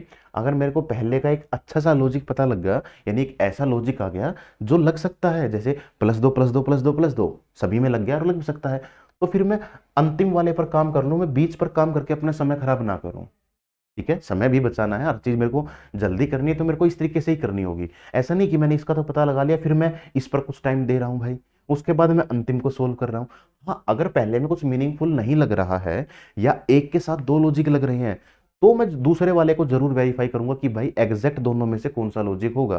मान के चलो पहले वाले में दो लॉजिक लगे। भाई दो आ, दो लॉजिक कौन से हैं? हो सकता है एक लॉजिक हो इसमें कौन सा? नॉर्मल वही प्लस दो प्लस दो प्लस दो वाला और एक हो इसमें वो वाली या कॉन्सोनेंट का। दो लॉजिक हो। अब यहाँ पे क्या लगेगा मेरे को? नहीं पता। या तो मैं दोनों में से किसी एक लॉजिक को चेक करूँ ऑप्शन देखूँ, मेरा वो ठीक बैठ जाएगा। या फिर मैं इसको वेरीफाई करूँ। तो वेरीफाई करना ज़्यादा अच्छा बजाय इसके दो आंसर ढूंढे हम लोग। क्योंकि हो सकता है एग्जामिनर को भी पता हो ये बात, और वो इसके दोनों जो राइट आंसर हैं, वो कहीं ना कहीं वो हमको दे दे, और दोनों में से हम जल्दबाजी में इसको ठीक कर दे, जबकि मेरा आंसर ये वाला ठीक हो। वो कैसे पता चलेगा? वो जब हम इस दूसरे वर्ड को वेरीफाई कर लेंगे, तब पता चलेगा। इतना काम अपने को करना होगा। हाँ अगर कब बताया मैंने? जब मीनिंगफुल सा लॉजिक ना लगे, कुछ लॉजिक अटपटा सा लग रहा हो, तब ऐसी इन चीज़ों का ध्यान रखना है। अदरवाइज़ मैं इसको छोड़ के पहले वाले को ही तरफ़ चल जाऊँगा। अब एच का एच लिखा गया है ए का ए लिखा गया है तो इसका मतलब एस का एस लिखा जाएगा। ऐसा ऑप्शन ठीक होगा जो एस से शुरू होगा। चलिए जी, एक ऑप्शन तो मेरा राइट आंसर हो ही नहीं सकता कभी। बाकी बच गए तीन। अच्छा उसके बाद मैंने देखा यहाँ पे क्या लिखा गया है? ई e को लास्ट सेकंड पे ई e लिखा है आर को यानी कि लास्ट सेकंड को आर ही रहने दिया है। ठीक है? तो लास्ट सेकंड पे क्या है टी तो लास्ट सेकंड पे टी ही आना चाहिए था। लास्ट सेकंड पे टी है लास्ट सेकंड पे टी है, एक ऑप्शन मेरा और एलिमिनेट हो गया है। यहाँ पे एक काम और भी हो सकता था, जो मैं अभी बता रहा था दो लॉजिक की। ई अपने आप में एक वोवल है। वोवल कौन से होते हैं? ए ई आई ओ यू और इस सवाल में ऐसा भी हो सकता था कि वोवल को ना बदला गया हो वोवल को सेम रखा गया हो। और कॉन्सोनेंट में प्लस एक प्लस दो प्लस तीन प्लस चार जैसी बातें यहाँ पे कर रखी होती। इस तरीके की बात यहाँ पे जो है हो, होने के चांसेस हो सकते थे। लेकिन ठीक है उसको हम लोग देखते हैं आगे। और इसके अलावा कहीं पे कुछ लिखा हुआ है क्या? बिल्कुल सही बात है भाई तीसरे स्थान पर भी सेम लिखा गया है यू तीसरे स्थान पर टी है सेम लिखा गया है तीसरे स्थान पर ओ है तो तीसरे स्थान पर ओ दोनों में ही सेम है। तो इसका मतलब दोनों में अलग क्या है? दूसरे वाला। दूसरे का देखा ओ से आर कैसे आया? ये है भाई पंद्रह ये है अठारह पंद्रह जमा तीन। चलिए जी, ये है जी तीन। तीन से एफ़ कैसे आया? तीन से छः कैसे आया? जब इसमें प्लस का तीन कर देंगे। एच आठ आठ में मैं तीन ऐड कर दूँगा तो ग्यारह, यानी दूसरे स्थान पर के होना चाहिए। दूसरे स्थान पर के है और यही मेरा भाई राइट आंसर हो जाएगा। इस तरीके से अपने को ध्यान रखना होगा। थोड़ा सा लंबा हो सकता था समझाने के पर्पज से, लेकिन इतनी सारी चीज़ें इसमें समझानी ही पड़ेंगी। ठीक है? इस तरीके से हम इसमें कंप्लीट काम करेंगे। इसको ध्यान इसको ध्यान रखेंगे भाई। वोवल कॉन्सोनेंट के भी लॉजिक लग जाते हैं, जैसे मैंने इसमें बताया। ओ को सेम रखता यू को सेम रखता, इस वाले ई को सेम रखता और बाकी सभी को बदल देता। इसमें भी काम कर सकता था ए को सेम रखता ओ को सेम रखता, बाकी सभी को बदल देता। तो इसमें क्या सेम होता? इसमें फिर ओ एक मात्र ओ ही सेम रहता, बाकी सभी के सभी बदले जाने चाहिए थे, अगर वो लॉजिक लगता तो। आगे इसकी बात कर लेते हैं हम लोग। सेम वही बात है। बड़ा अच्छी हिंट भी है यहाँ पे। इन दोनों को बड़े ध्यान से देखोगे तो हिंट मिल जाएगी यहाँ पे। और ऐसे सवाल बड़े आसान होते हैं। कैसे हिंट मिली? सर जी, सामने है, सामने टी है, पीछे है, पीछे टी है। यानी एस के लिए टी आया है। एस टी बताया था ना? समझ में आ गया? एस टी और क्या है वो? टी ट्वेंटी बताया था मैंने तो इसका मतलब एस का स्थान कितना हो गया? नाइनटीन हो गया। चलिए जी, यानी कि इतना तो कन्फर्म है कि पहले वाले में भी क्या है? प्लस वन अंतिम में भी क्या है? Plus one. चलो जी, सोलह जमा एक सत्रह पर क्यू उन्नीस जमा एक आखिरी पे टी क्यू टी चलो, सभी में यही है, सभी में नहीं, दो ऑप्शन में सेम है और दो ऑप्शन इस तरीके से लिखे गए हैं। बाकी देख लेते हैं। ओ के लिए क्या लिख रखा है? ओ के लिए इसने पी लिखा हुआ है, पंद्रह जमा एक। तो यहाँ पर भी जमा एक है सी जमा एक डी हो गया और ग्यारह जमा एक बारह हो गया। तो इसका मतलब यहाँ पर भी प्लस वन इसका मतलब पूरे ही सवाल में प्लस वन यहाँ पर हो जाएगा। ए के लिए बी आएगा, बी लिखा हुआ है। एन के बाद आता है चौदह और एक पंद्रह पंद्रह पर आएगा ओ। तो ऑप्शन नंबर ए मेरा राइट है ऑप्शन नंबर सी भी मेरा यहाँ पर खत्म हो जाएगा। समझ में आगे बातें? पूरी सीरीज़ में प्लस वन जैसा लॉजिक है। कब पूछा गया है वो देखो। और इतने सवाल भी आसान आए हुए हैं पहले ही। क्लियर हो गई बातें? चलें आगे। आगे देखते हैं फ़िलहाल क्या है। ए, बी, एन, ओ के एल यहाँ पर लिखा गया है। सबसे खास बात तो यहाँ पर ये है, एक, दो, चौदह, पंद्रह, ग्यारह, बारह तो दो लेटर आगे जो आएँगे, वो ऐसे आएँगे जो लगातार हैं। तो इस तरीके से भी हम इस सवाल को कर सकते हैं। हमने देखा डब्लू वाई लिखा गया है, जबकि होता क्या है? एक्स वाई होता है। तो ये तो आंसर ही नहीं है। वाई जेड हो सकता है डब्लू एक्स हो सकता है एक्स वाई हो सकता है। अब देखना पड़ेगा भाई, यहाँ पे क्या कुछ लगेगा, ठीक है? अब क्या करेंगे? ऐसे सवाल बड़ा फ़ेमस पैटर्न रहा है ये यूपी का। कैसे लगेगा? इसका स्थान है भाई एक, इसका स्थान है चौदह, और इसने तेरह ऐड कर रखा है। तेरह ऐड कर रखा है। अब मैं ग्यारह की बात करता हूँ भाई, मैं ग्यारह में जब मैं अगर तेरह ऐड करूँगा तो कितना बनेगा? चौबीस बनेगा। तो इसका मतलब चौबीस से शुरू होने वाला होगा और उसके बाद उसके अगला, चौबीस के बाद आएगा पच्चीस एक्स वाई मेरा यहाँ पे राइट आंसर हो जाएगा। ठीक है? समझ में आ गई भाई बातें? तो यहाँ पे हम इस तरीके से इसको कर सकते थे। इसके अलावा यहाँ पर एक बात एक आध बात और भी हो सकती थी, वो क्या होती है कि ए में तो हमने तेरह ऐड कर दिया, लेकिन अगर अपने को टी में तेरह ऐड करना पड़ता यू में थर्टीन ऐड करना पड़ता वी में थर्टीन ऐड करना पड़ता तो क्या करते हैं हम लोग? वहाँ तो थर्टीन ऐड थोड़ी कर सकते हैं, क्योंकि लेटर छब्बीस होते हैं। छब्बीस के बाद तो बहुत बड़ा बन जाएगा वो। फिर क्या करेंगे? ऐसा होता है, इस चैप्टर्स में ध्यान रखना, इसमें कोडिंग डिकोडिंग में, यहाँ पे ऐसा होता है भाई सीरीज़ जो चलती हैं, वो चलती हैं ए बी सी करते करते करते करते एक्स वाई जेड और जेड के तुरंत बाद फिर से ए स्टार्ट हो जाता है। ए बी सी करते करते एक्स वाई जेड फिर से ए बी सी शुरू हो जाएगा X Y Z A B C X Y Z इस तरीके की सीरीज़ यहाँ पे लगातार चलती रहती है। तो अपने को फिर आगे कहाँ तक याद रखना है? भाई, आगे कहाँ तक ध्यान रखेंगे? बड़े ध्यान से सुनना। एन हाँ ए की ही बात कर लेते हैं, चलो ए बी सी डी ई और एफ़ यहाँ तक अपने को यहाँ पे ध्यान रखना है। कैसे ध्यान रखेंगे हम लोग?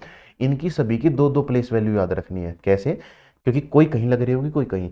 ए के दो स्थान होते हैं। पहला तो पहला ए बी सी डी में सबसे पहला ये है। दूसरा कौन सा है? भाई 26 पर आ गया जेड जेड के जस्ट बाद फिर से कौन आएगा? ए आएगा। तो वही ऐसा मान के चलें कि ये जेड है जेड का स्थान है छब्बीस। छब्बीस के तुरंत बाद क्या आएगा? सत्ताईस आएगा। और जेड के बाद क्या है? ए तो ए का जो दूसरा स्थान है वो क्या हो जाएगा? सत्ताईस हो जाएगा।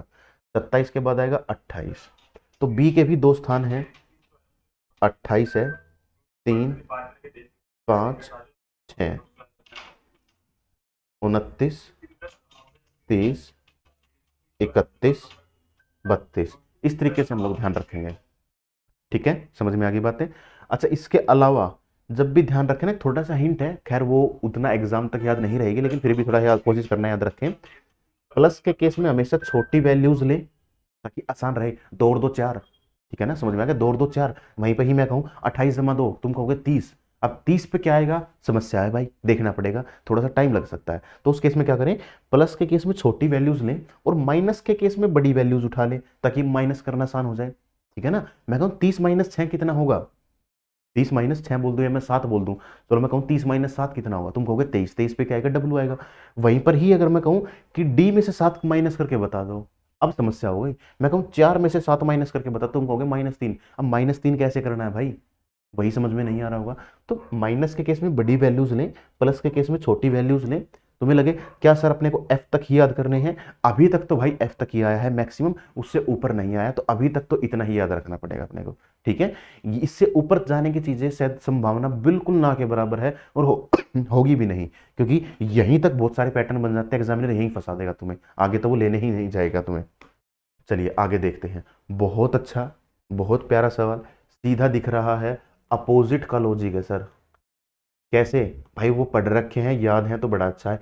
ईवी इलेक्ट्रॉनिक व्हीकल मैन जंगल क्वीन जोधपुर क्वीन जैकेंड क्वीन अब यहाँ पर जो होगा ना, वो होगा तो अपोजिट इतना तो कन्फर्म है।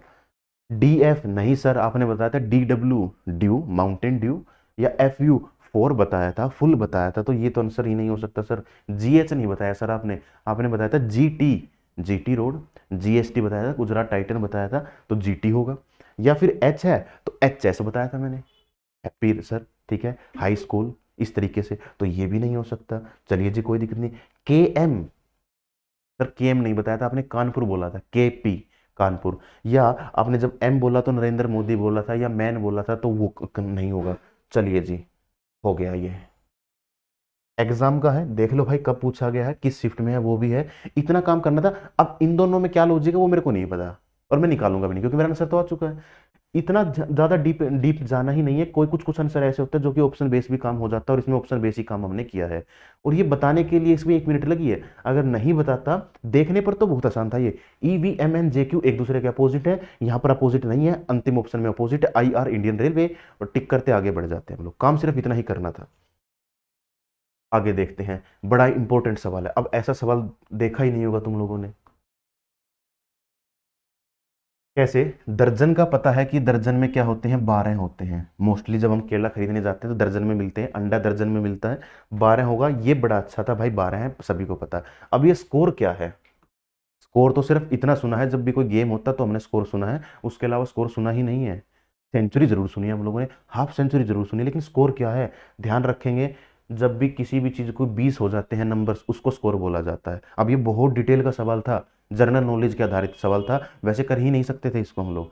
लेकिन ध्यान रखेंगे, दर्जन में बारह चीज़ें होती हैं और स्कोर में क्या है? बीस चीज़ें होंगी। ठीक है? कुछ भी होगा, वो स्कोर की अगर बात करेगा तो वो बीस होगा। अब पचास की बात कर लेते हैं। पच्चीस, दस।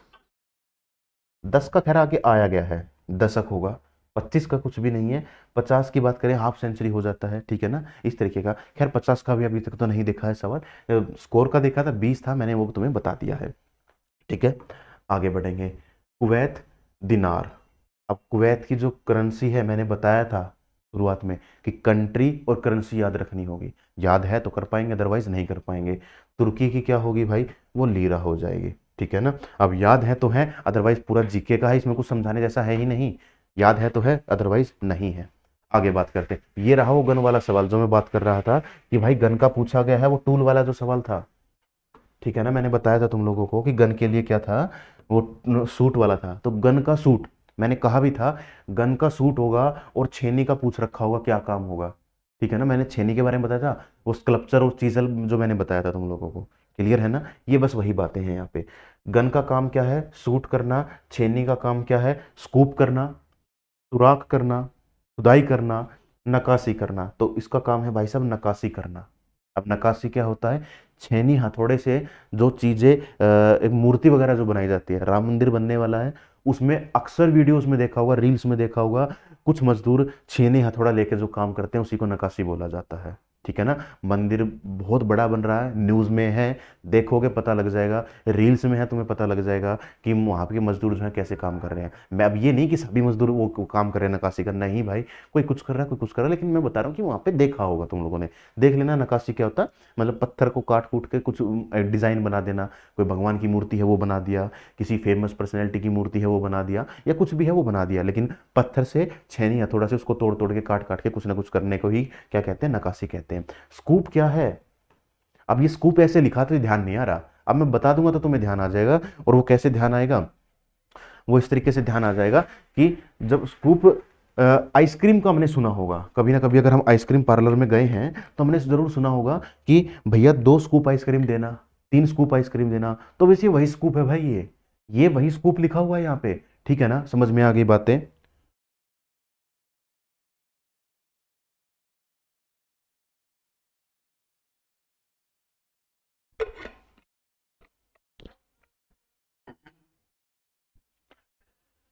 तो ये वही स्कूप हो गया भाई, ठीक है? स्कूप अब आइसक्रीम के लिए स्कूप यूज़ होगा क्लियर है ना? अच्छा इसके अलावा मैं बता देता हूँ तुम्हें, एक स्कूप और चीज़ के लिए भी यूज़ होता है, कोयले की खदान से जब हमें या कहीं से कोयला उठा के डालते हैं तो वो भी स्कूप का ही काम होता है, ठीक है? अब वो एग्जैक्ट मेरे को पता नहीं, उस हथियार को क्या बोला जाता है, जिससे कोयला उठाते, डालते हैं, लेकिन गदर मूवी हमने देखी होगी, गदर में पहले वाले की बात कर रहा हूँ, अब आइए वो नहीं, उसमें हमने देखा था, वो रेल में कोयला कैसे डालता है? तो जो रेल में कोयला डालता था, जिस हथियार से डालता था, उस हथियार का काम भी स्कूप करना ही होता है। यानी स्कूप का मतलब ये नहीं है कि भाई ये बना दिया और इस तरीके का जो है, सर जी, ऐसा स्कूप दिखता है। नहीं भाई, वो जो हथियार डालता था, जो सॉरी, जिस हथियार से वो कोयला डालता था रेल के इंजन में, उसका काम भी स्कूप करने का ही होता है। सवाल था, लेकिन एसएससी में पूछा है, यूपी में नहीं पूछ रखा है वो। होता तो मैं ज़रूर बात करता उसकी, ठीक है? सुराग के लिए किसका काम होगा? ड्रिलिंग का काम होगा। ठीक है ना? और खुदाई के लिए ये आपको पता ही है भाई, फावली वगैरह का जो है यूज़ होता है खुदाई के लिए, ठीक है? इसके लिए दो चीज़ें यूज़ होती हैं, एक तो फावली का यूज़ होता है और एक और है, अभी मेरे को उसका नाम ध्यान नहीं आ रहा क्या बोलते हैं, लेकिन पिक्चर का पता है, कुछ इस तरीके से होता है वो, जिस दो तरीके से खुदाई होती है तो एक वो हो गया और एक फावली हो गया, कुछ इस तरीके का जो कस्सी टाइप जिसे बोला जाता है लोकल लैंग्वेज में तो वो हो गया, ठीक है ना? इस तरीके के दो हथियार है, उसका काम होता है खुदाई वुदाई करना। सुराग करने के लिए भी एक लोहे का पतला सा हथियार होता है, रोड टाइप का, आगे से थोड़ा सा पतला होता है वो और एग्जैक्ट पता नहीं इसको क्या बोलते हैं भाई तो वो काम यहाँ पे होता है। आगे बात करते हैं। इम्पोर्टेंट है? केसर मसाला सेब क्या होगा? अब केसर क्या है मसाला है? सेब क्या है? आ, फल हो गया। आसान था लेकिन मैं कह रहा हूँ कि इम्पोर्टेंट क्यों है? मुश्किल क्यों है? मुश्किल इसलिए है कि केसर तो मसाला हो गया। ठीक है? केसर क्या हो गया? मसाला हो गया भाई।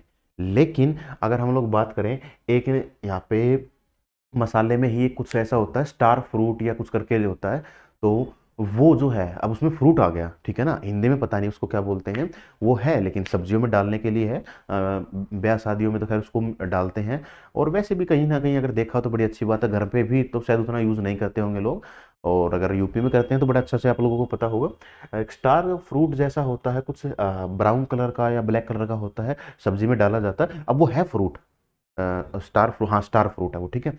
अब वो है फ्रूट। फ्रूट है तो इसका मतलब ये नहीं कि वो फ्रूट, फल ही होगा। नहीं भाई, उसका पूरा नाम है वो तो स्टार फ्रूट। गूगल करना, पिक्चर मिल जाएगा तुम्हें क्या है?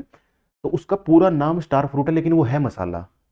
ऐसी चीज़ों से बड़े गलती करने से बचें, जिनके पूरे पूरे नाम दे रखे होते हैं। ऐसा नहीं कि भाई अगर फ्रूट आ गया तो फल चिपका दो। नहीं भाई, ऐसा बिल्कुल भी नहीं करेंगे हम लोग, ठीक है? बड़े ध्यान से चीज़ों को करेंगे हम लोग।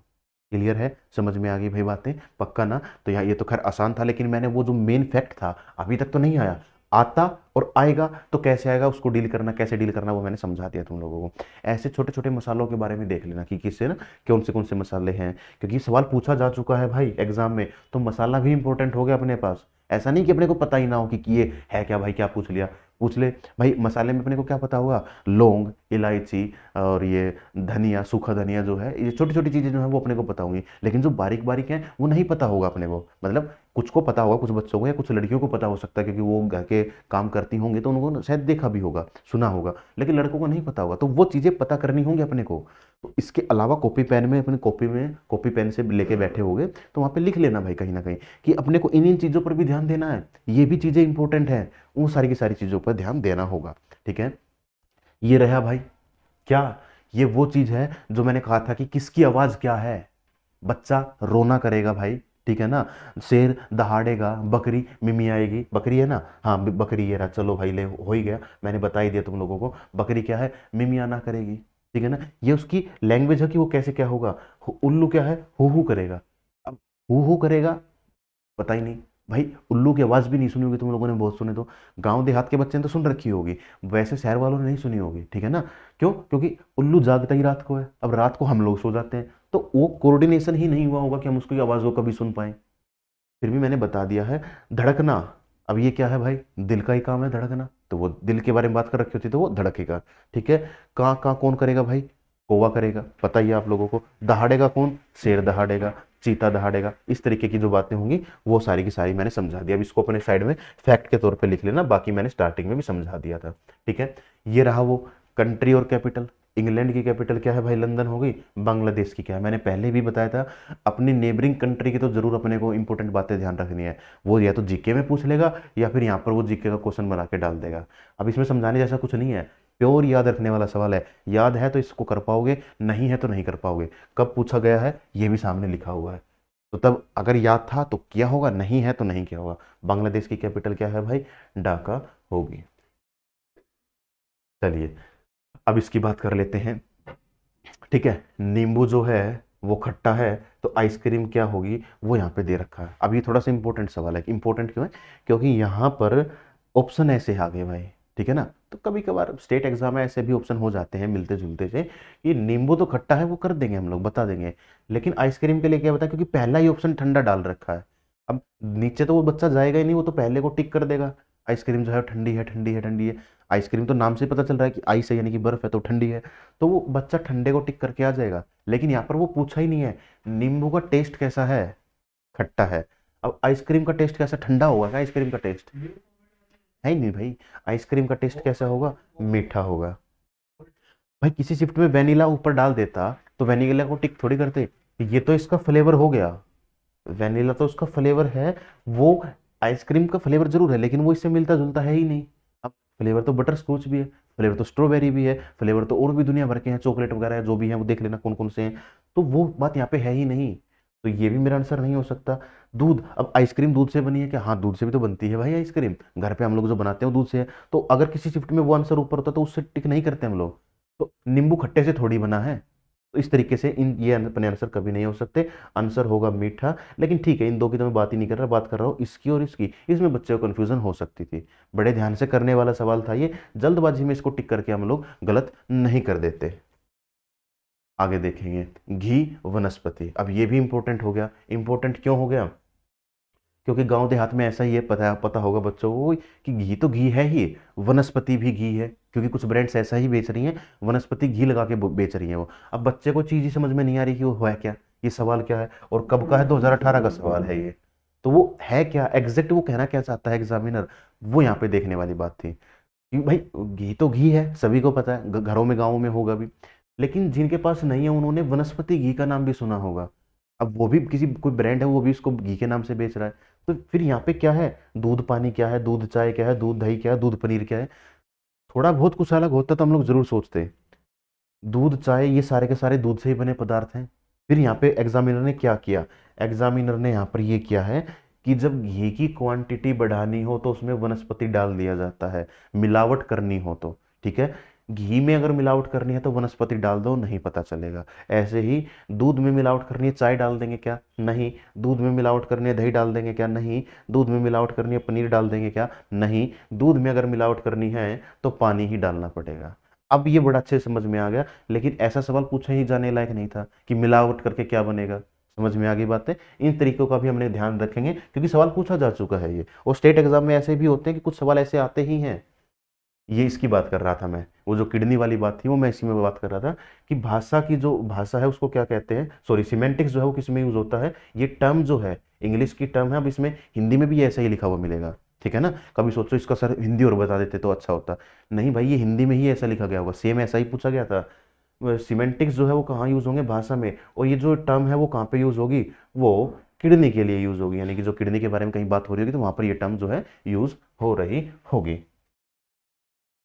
एमीटर सिस्मोग्राफ इसका शायद मैं अगर आंसर ना भी बताऊँ तो पता होगा क्योंकि मैं पहले ही बता चुका हूँ इसका आंसर कि भाई वो एमीटर धारा था सिस्मोग्राफ क्या मापेगा? भूकंप मापेगा। प्योर जीके का सवाल है। इसके अलावा बात कर लेते हैं ये सारी की सारी चीज़ें हम लोगों ने देखी हैं। अब बात करते हैं नंबर एनालॉगी की। नंबर एनालॉगी में क्या होगा? जब सवाल इस तरीके से पूछे जा रहे होंगे ठीक है भाई?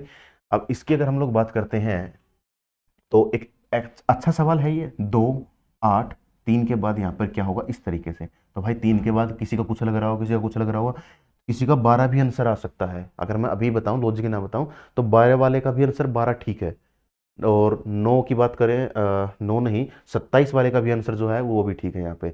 तो इसके इसके लिए कैसे ध्यान रखेंगे हम लोग? इसके लिए एक थोड़ी सी, छोटी सी टेबल है, वो अपने को थोड़ा सा याद रखनी होगी। एक मतलब सीक्वेंस है टेबल भी नहीं सीक्वेंस है, वो ध्यान रखना होगा। सबसे पहले अपने को देखने प्राइम नंबर प्राइम नंबर, ठीक है? तो प्राइम नंबर ध्यान रखने होंगे। पहला लॉजिक जो लगेगा वो यहाँ पे प्राइम नंबर का लॉजिक लग रहा होगा, ठीक है? यानी कि जो अपने आप से भाग होंगे, एक से भाग होंगे और किसी से भाग नहीं हो रहे होंगे। इसके अलावा की मैं बात कर लेता हूँ स्केयर और स्केयर के जस्ट बाद अपने को क्यूब देखना होगा। सीक्वेंस हमारी यही कहती है, मैं पहले स्केयर देखूँ, उसके बाद मैं क्यूब देखूँ तो अपने को वो ध्यान रखना होगा, ठीक है? उसके बाद मैं मैथमेटिकल ऑपरेशन भी यहाँ पे देख सकता हूँ। मैथमेटिकल ऑपरेशन का मतलब होगा कि भाई मैं बात कर रहा हूँ मल्टीप्लाई डिवाइड वाली बात कर रहा हूँ मैं प्लस माइनस वाली बात कर रहा हूँ। जैसे मैं इसकी बात करूँ, दो से आठ कैसे बना है? तुम कहोगे, सर गुना चार कर दो। तो तीन गुना चार करेंगे तो कितना होगा? बारह। तो उसने उसी केस का मैं बता रहा था कि जिस बच्चे का आंसर बारह है, वो भी ठीक रहा होगा अपने हिसाब से। लेकिन अब उसका आंसर समझ में आएगा कि अब इसका आंसर बारह नहीं होगा। इसके अलावा अगर हम बात कर लेते हैं तो कभी कभार डिविजिबिलिटी भी आ जाती है। ठीक है? वो सेम बात है, वो मल्टीप्लाई वाली ही बात है, खैर, अलग नहीं है। इसके अलावा इलॉजिकल जैसी चीज़ें भी यहाँ पे देखी गई हैं यूपी के एग्ज़ाम में। इलॉजिकल पैटर्न बात करेंगे कौन कौन से सवाल आए हुए हैं। खैर, वो जब पढ़ेंगे तब उसकी बात करेंगे हम लोग। अब इसी एग्ज़ाम्पल की अगर मैं बात करूँ, इसी एग्ज़ाम्पल को अगर हम देखें बड़े ध्यान से तो अब अपना राइट आंसर क्या होगा? भाई देखा प्राइम नंबर की अगर बात करते तो आठ प्राइम नंबर नहीं है तो प्राइम नंबर वाला लॉजिक यहाँ पर नहीं लगेगा। दूसरा है स्केयर और क्यूब वाला। दो का स्केयर आठ नहीं होता, दो का स्केयर चार होगा। वो नहीं लगा। क्यूब की बात कर लेते हैं, दो का क्यूब आठ है। समझ में आ गया? दो का क्यूब आठ हो गया तो तीन का क्यूब कितना होगा? अब तीन का क्यूब है, यहाँ पे सत्ताईस हो जाएगा। ठीक है? इसी के साथ एक चीज़ मैं और बताऊँगा, यहाँ पर जो अपने को करनी होगी मेहनत अपने हिसाब से, वो क्या है? एक से बीस तक के भाई अपने को क्या करने होंगे? स्केयर्स याद होने चाहिए। पच्चीस तक हों तो बहुत अच्छी बात है। एक से बीस तक के अपने को क्यूब याद होने चाहिए। नहीं भी सॉरी एक से दस तक तो होने चाहिए। मैं ये कह रहा था भाई नॉर्मल भाषा की मैं बात कर रहा हूँ ना? नॉर्मल एक से दस तक तो होने चाहिए। बीस तक कर लोगे तो बहुत अच्छा उससे अच्छा तो कुछ है ही नहीं। लेकिन ठीक है, इतना तो अपने को करना पड़ेगा ही पड़ेगा, तभी चीज़ें जो है सही हो रही होंगी। अब ये मैराथन टाइप है तो ऐसा नहीं होगा कि भाई मैं इन सभी को लिखवा रहा हूँ, करवा रहा हूँ। मेन मेन चीज़ें बता रहा हूँ कि इस चीज़ों को अपने को ध्यान रखना होगा। कॉपी, पेन लेके बैठे हो, ठीक है? चीज़ें लिख लेना अब जो जो बता रहा हूँ, उस पर बाद में मेहनत कर लेना, ठीक है? समझ में आ गया? इसका जो राइट आंसर है, वो सत्ताईस हो जाएगा। क्लियर हो गई भाई बातें? इसका एक आंसर की अगर मैं बात करूँ, ये भी, मैं मैथमेटिकल ऑपरेशन की बात करूँ क्योंकि मैंने वो चीज़ समझा ही नहीं है। मैथमेटिकल ऑपरेशन के केस में एक चीज़ की ये भी हो सकती थी, और वो ये कि गुना तीन प्लस दो, ये भी तो ठीक है भाई। इसमें कोई गलती थोड़ी है। यहाँ पर भी कर सकते थे। तीन गुना तीन नौ जमा दो तो ग्यारह। अगर मेरा आंसर ग्यारह था तो मैं ग्यारह भी ठीक हो सकता था। तो बहुत सारी चीज़ें हैं जो ध्यान रखनी होंगी, लेकिन सीक्वेंस क्या है? सीक्वेंस तो भाई अपना यही रहेगा। क्लियर है? सीक्वेंस का भी मैं बता देता हूँ। सीक्वेंस को तो फॉलो करेंगे हम लोग, लेकिन ध्यान रखना यूपी का एग्ज़ाम है सीक्वेंस भी है, लेकिन फिर भी एग्जामिनर अपने हिसाब से कुछ भी ठीक मान सकता है। अपने हिसाब से वो कुछ भी ठीक मान सकता है, क्योंकि मैंने लिखवा भी रखा है इलॉजिकल पैटर्न भी होते हैं। उसके मन की मर्ज़ी है, इस तरीके के सवालों में वो कुछ भी आंसर मान सकता है मेंटली प्रिपेयर रहें इस चीज़ से। ठीक है? एक सवाल के एक से ज़्यादा आंसर हो सकते हैं नंबर एनालॉगी में। क्लियर हो गई भाई बातें? लेकिन सीक्वेंस को फॉलो करेंगे, अधिकतर सवाल सीक्वेंस के हिसाब से अपने ठीक मिलेंगे ही मिलेंगे। जैसे इसमें दो आंसर तो मैंने बता दिए तो मिले अगर सीक्वेंस को फॉलो करते तो ये ठीक था, लेकिन एग्जामिनर चाहता ही नहीं है कि वो सत्ताईस को ठीक माने तो भाई वो बारह को भी ठीक मान लेगा। दोनों वैसे तो वो ठीक उसको सत्ताईस मानना चाहिए, क्योंकि सीक्वेंस यही कहती है उसके हिसाब से। प्रीवियस ईयर में सीक्वेंस उसने यही फॉलो किया है। लेकिन अगर वो अट जाए कि भाई मैं तो बारह वाले को ही नंबर दूँगा तो वो बारह वाले को ही नंबर देगा। कितना कुछ भी ऑब्जेक्शन लगा लो कितना कुछ भी कर लो वो सत्ताईस की तरफ़ देखेगा ही नहीं। या फिर दोनों बच्चों को आंसर देगा वो मार्क्स देगा जिसने सत्ताईस भी टिक किया उसको भी नंबर दे देगा बाद में बारह वाले को भी नंबर दे देगा। लेकिन वो उसके मन की बात है कैसे होता है काम वो मैंने बता दिया है तो थोड़ा सा मेंटली प्रिपेयर रहें इस चीज़ के लिए। चलिए हाँ, आगे लिखा गया है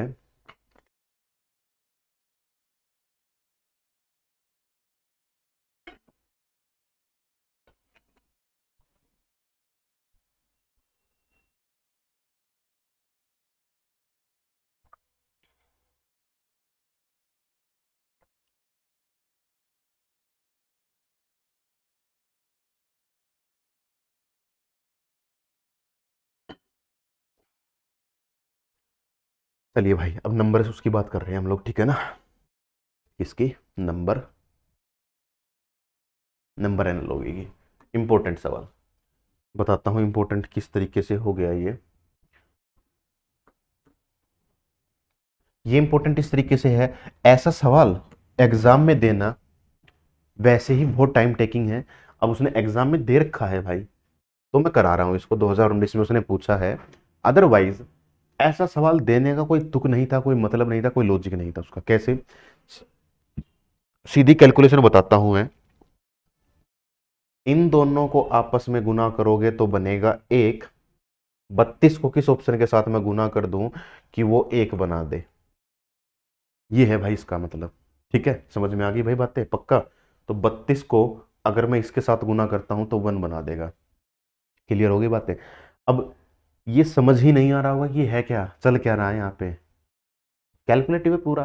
अब है तो है, बता दिया मैंने क्या लॉजिक लगा इंपॉर्टेंट इसीलिए इसको लगाया है। कब का है वो सामने लिख रखा है आंसर उसका वो होगा आंसर उसका वो होगा। अब इतना कैलकुलेटिव सवाल, मैं एग्ज़ाम में कितना कुछ भी सोच लूँ तो इसमें पॉइंट इतने हैं। एग्जैक्ट कैलकुलेशन नहीं होगी। कितना कुछ भी सोचूं तो मैं कितना डीप में जा सकता हूँ। ये तो शुक्र उसने एक बनाने के लिए कैलकुलेट किया। कल को बता दे कि, बोल दे कि भाई इसको दस बना दो। पाँच बना दो, आठ बना दो। क्या आठ तक कैलकुलेट करेंगे क्या हम इसको? बोल दे सत्रह बना दो। अरे सत्रह तक क्या पता कितनी कैलकुलेशन हो जाएँगी भाई। कब तक, कहाँ तक चेक करेंगे? वो तो टाइम खराब करने वाली बात है, लेकिन एग्ज़ाम में दे रखा उसने। तो मैं करा दिया यहाँ पे सवाल, ठीक है? आगे बात कर लेते हैं भाई यहाँ पे। तो 21 है 40 है 26 है 50 लिखा हुआ है यहाँ पे। और क्या पूछा गया होगा? बस वो देखने वाली बात यहाँ पे है। और ये भी खैर आसान है यहाँ पे। हिंट भी है कैसे है। इक्कीस कोई प्राइम नंबर नहीं है। कोई यहाँ पे कोई स्केयर हाँ सोलह को छोड़ दे तो कोई और स्केयर भी नहीं लिख रखा। ये स्केयर नहीं है तो इसका मतलब सोलह पर भी स्केयर वाला लॉजिक यहाँ पर फेल हो जाएगा। क्यूब नहीं है भाई। अगर तीन चीज़ नहीं है तो फिर बाद में सीक्वेंस क्या कहती है? मैथमेटिकल ऑपरेशन मैथमेटिकल ऑपरेशन देख लेते हैं। क्या होगा भाई यहाँ पे? इक्कीस गुना दो कर दूँ और उससे मैं दो घटा दूँ तो ये आ जाएगा भाई चालीस। इक्कीस गुना दो बयालीस बयालीस माइनस दो चालीस। छब्बीस गुना दो, बावन बावन माइनस दो, पचास। सोलह गुना दो, बत्तीस बत्तीस माइनस दो, तीस। तीस मेरा यहाँ पे राइट आंसर हो जाएगा, कोई दिक्कत ही नहीं है। क्या है? मैथमेटिकल ऑपरेशन मैथमेटिकल ऑपरेशन का मतलब भी क्या होता है? सर जी प्लस नहीं डिवाइड मल्टीप्लाई प्लस माइनस और ये होता है भाई इसका मतलब। ठीक है जी? चलिए आगे। चलिए भाई, ये रहा सवाल। और तेईस है, आठ लिख रखा है, चौतीस है, क्या होगा? बहुत इंपॉर्टेंट सवाल। ठीक है? इलॉजिकल पैटर्न है भाई ये इलॉजिकल पैटर्न जो मैं बता रहा हूँ। कितना भी कुछ भी ज़ोर कर लो तुम लोग, नहीं निकाल पाओगे। तेईस से आठ कैसे बना है? हर बार यही काम कर रहे होगे, कितना? कि भाई आठ गुना चार सॉरी आठ गुना तीन, आठ दिया, चौबीस माइनस एक, यानी कि गुना तीन माइनस एक कर रहे हो गए तो यहाँ पर क्या होगा कि सर जी एक्स गुना तीन माइनस एक करके कितना बना दें? चौंतीस बना दें। एक ही धारा आ जाएगा तो कितना हो जाएगा? एक्स गुना तीन बराबर पैंतीस हो जाएगा, क्योंकि माइनस का एक ही धारा के प्लस हो जाएगा। और ये एक्स बराबर पैंतीस बटे तीन और पैंतीस बटे तीन एग्जैक्ट हो नहीं रहा। कितना भी कुछ भी कर लो, ऐसा ऑप्शन ही नहीं है दूर दूर तक। फिर क्या करेंगे? अलग लॉजिक जो है वो यहाँ पे मैं बता देता हूँ तुम लोगों को। अब इस सवाल की अगर हम बात करते हैं तो इस सवाल को भी दो तरीके से किताबों में दे रखा है, ठीक है? एग्जैक्ट पता नहीं भाई कैसे रहा होगा। तो कैसे है वो मैं बता देता हूँ तुम लोगों को। एक बार तो एक किताब में ये दे रखा है टू पॉइंट थ्री और एट और three point four question mark एक किताब में इसको इस तरीके से दे रखा है सवाल को, ठीक है? तो ये दो एक बन गए, यहाँ पर पॉइंट आ गया भाई और थ्री पॉइंट फोर और आगे भाई क्वेश्चन मार्क यहाँ पर लिखा हुआ है। अब दूसरी में क्या दे रखा दूसरी में सेम ऐसा ही दे रखा है। तो लॉजिक बताता हूँ क्या यहाँ पे दो दो की पावर तीन हो गया जी आठ। तीन तीन की पावर चार, कितना होगा बताना पड़ेगा। तीन गुना तीन गुना तीन गुना तीन। तीन तिया नौ, तीन तिया नौ तो नौ गुना नौ। इक्यासी एट्टी वन जो है यहाँ पे राइट आंसर हो जाएगा। ठीक है? समझ में आ गई? दोनों में से पता नहीं भाई लैंग्वेज क्या रही होगी, वो देख लें तुम लोग क्या रही होगी। लेकिन मैंने बता दिया कि लॉजिक इतना अच्छा है यहाँ पे। इतना अच्छा लॉजिक यहाँ पे यूज़ किया गया है। अब ये पावर चार है, जल्दी कैसे करते? अगर तीन का क्यूब पता होता, क्योंकि चार का मतलब क्या है? तीन को चार बार गुना करना। अपने आप में भाई एक, दो, तीन, चार, ठीक है ना? और अगर तीन होता तो तीन का मेरे को क्यूब याद है जो कि कितना होगा? नौ। तो इसका मतलब यहाँ पे क्या होगा? एक बार और उसको तीन के साथ सॉरी सत्ताईस। सत्ताईस को एक बार और तीन के साथ गुना करेंगे। सत्ताईस गुना तीन कितना होगा? इक्यासी। इक्यासी में अपना भाई टिक कर देता। ठीक है ना? समझ में आगे बातें? इस तरीके से अपने को वो याद होंगे तो बहुत अच्छा यहाँ पे रहने वाला है। अब इसकी बात करते हैं। प्योर कैलकुलेटिव है। इतना अच्छा सवाल भी एग्ज़ाम में देखने को मिल जाता है। सीधा मैं कैलकुलेशन बता रहा हूँ तुम लोगों को कैसे होगी यहाँ पे। और एक मिनट रुके भाई। चलिए। तो यहाँ पर जो कैलकुलेशन है वो इस तरीके से हो रखी है कि तीन प्लस तीन प्लस तीन नहीं, तीन प्लस दस, ठीक है जी? और इसको किसके साथ गुना कर रखा है? तीन प्लस तीन के साथ, और वो कितना बना रखा है? अठहत्तर। दस और तीन तेरह तेरह गुना छ, अठहत्तर। पाँच प्लस दस, पंद्रह और पंद्रह को किसके साथ गुना कर रखा है भाई? अब यहाँ पर भी दो बातें हो सकती हैं। कौन कौन सी? एक तो ये हो सकती हैं, पाँच में तीन ऐड कर दें। एक ये हो सकता है, पाँच में पाँच ऐड कर दें। ठीक है ना? क्योंकि यहाँ पर वो चीज़ सेम लिखी गई है यहाँ पे। और इसी वजह से ये पॉइंट जो है सॉरी ये क्वेश्चन जो है वो इंपॉर्टेंट होगा, क्योंकि यहाँ पर दो कैलकुलेशन मेरे को एक साथ करनी पड़ेंगी। ध्यान रखे करनी ही पड़ेंगी। मजबूरी है, करेंगे ही करेंगे हम लोग। जो अच्छी लगती हो दोनों में से, वो पहले कर सकते हो, ठीक है ना? मतलब जो इजी हो, वो पहले कर सकते हो तुम लोग। अब मैं यहाँ पे देखता हूँ कि तीन और तीन तो मैंने यहाँ पे देखा कि पाँच और पाँच कितना हो जाएगा भाई? दस हो जाएगा, पचास गुना दस, डेढ़ सौ। डेढ़ सौ मेरा ऑप्शन में नहीं है। इसका मतलब ये कैलकुलेशन यहाँ पर नहीं हो रही है। इसके बाद फिर यहाँ पर क्या हो रहा होगा? पाँच प्लस तीन, जो कि बना देगा आठ, पंद्रह गुना आठ करेंगे, एक सौ बीस, यहाँ पे मेरा राइट आंसर हो जाएगा। क्लियर होगी बातें। दोनों कैलकुलेशन करने के बाद मेरे को मैंने बताया है ये, इस तरीके से अपने को काम करना ही पड़ेगा। मजबूरी है, सवाल कब आया है वो तुम लोग देख सकते हो। आगे बात कर लेते हैं। 82 और 64 फोर यहाँ पे लिखा गया है 92 और क्वेश्चन मार्क यहाँ पे लिखा गया है। अब इसकी अगर हम लोग बात कर लेते हैं तो 64 का मतलब तो ये हो गया भाई सीधा सीधा 8 का स्केयर हो गया, ठीक है? अब यहाँ पे बात कर लेते हैं कि स्केयर ही आना चाहिए तो किसका स्केयर आ सकता है? एटी वन आ सकता है यहाँ पे, क्योंकि इसके अलावा तो कोई और सॉरी सॉरी एटी वन नहीं भाई एटी वन नहीं।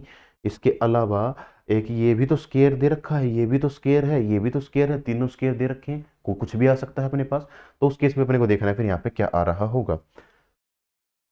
अब देखते हैं इसमें तो ये है जी आठ का स्केयर चौसठ हो गया, ये क्या है? ये है जी नौ का स्केयर प्लस एक दे रखा है यहाँ पे। नौ का स्केयर प्लस एक दे रखा है यहाँ पे, ठीक है? अब इसकी बात करें, ये किसी का स्केयर है ही नहीं। भाई इक्यानवे बानवे है, खैर उसमें प्लस एक कर रखा तो माइनस एक कर दो तो इक्यानवे बनेगा। इक्यानवे किसी का स्केयर है ही नहीं तो फिर यहाँ पे और क्या हो सकता है? तो स्केयर भी देखा अच्छा एक काम ये भी देख सकते हैं, यहाँ पर क्या है भाई, बड़ा नंबर, यहाँ पर क्या है, छोटा नंबर, यहाँ पर है बड़ा नंबर, अब इससे छोटा नंबर ही आएगा पीछे। इससे छोटा नंबर इतना तो कन्फर्म हो गया कि सो नहीं आ सकता, बाकी कुछ ना कुछ आ रहा होगा। इसके अलावा डिफरेंस देख सकते हैं हम लोग। डिफरेंस मेरे को देखा, मैंने देखा भाई, बयासी में से मैं अगर चौसठ माइनस करता हूँ तो मेरे पास कितना बनेगा? इधर से कैरी लेंगे कितना बना देगा? बारह बारह से चार गया, कितना बनेगा? आठ। इधर आ गया, अठारह अब मगर बानवे से अठारह माइनस करता हूँ तो मैं देखता हूँ, बानवे माइनस अठारह इसका मतलब इधर बनेगा चार और आठ से एक गया, बनेगा सात। सेवनटी फोर भी मेरा यहाँ पे राइट आंसर नहीं है। इसके अलावा अगर हम लोग बात करें, फिर यहाँ पे क्या लॉजिक बन रहा होगा?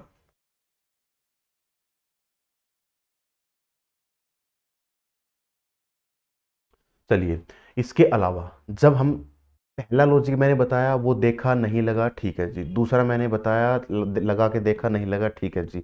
तीसरा भी बता दूँगा, लगा के देखेंगे नहीं लगेगा।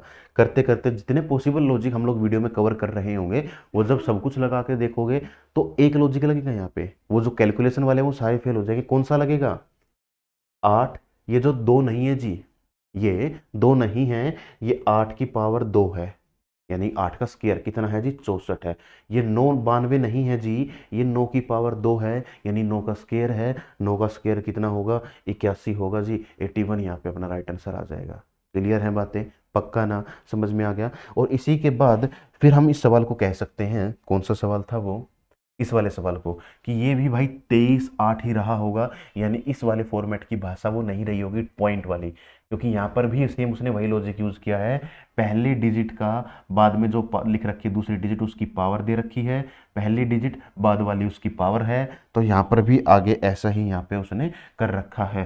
पहला जो डिजिट है वो, और पीछे वाली जो है वो उसकी सामने वाले की पावर है।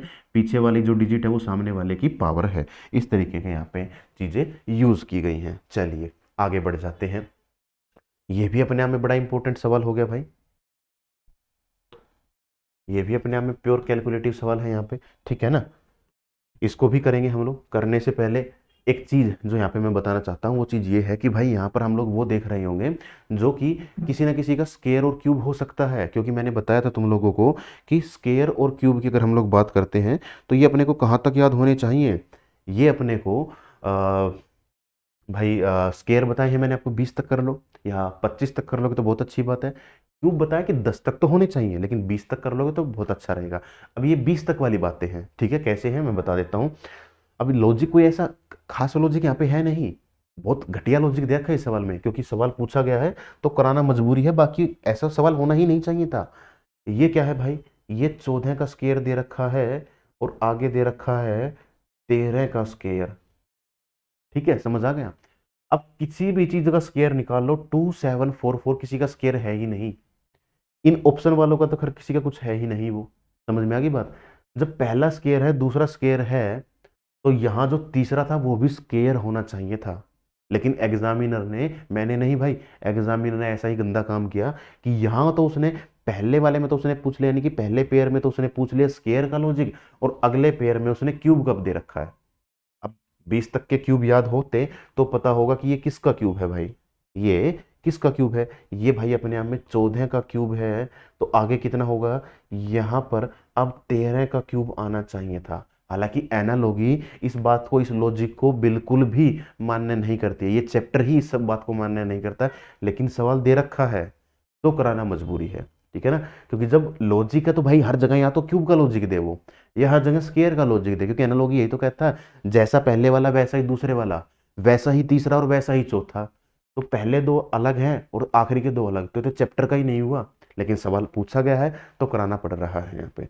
तो ये चौदह का क्यूब है तो यहाँ पे पीछे भाई तेरह का क्यूब बता रखा होगा। तेरह का क्यूब अब अपने को पता है तो हम लोग कर सकते हैं अदरवाइज़ हम लोग यहाँ पे नहीं कर पाएँगे।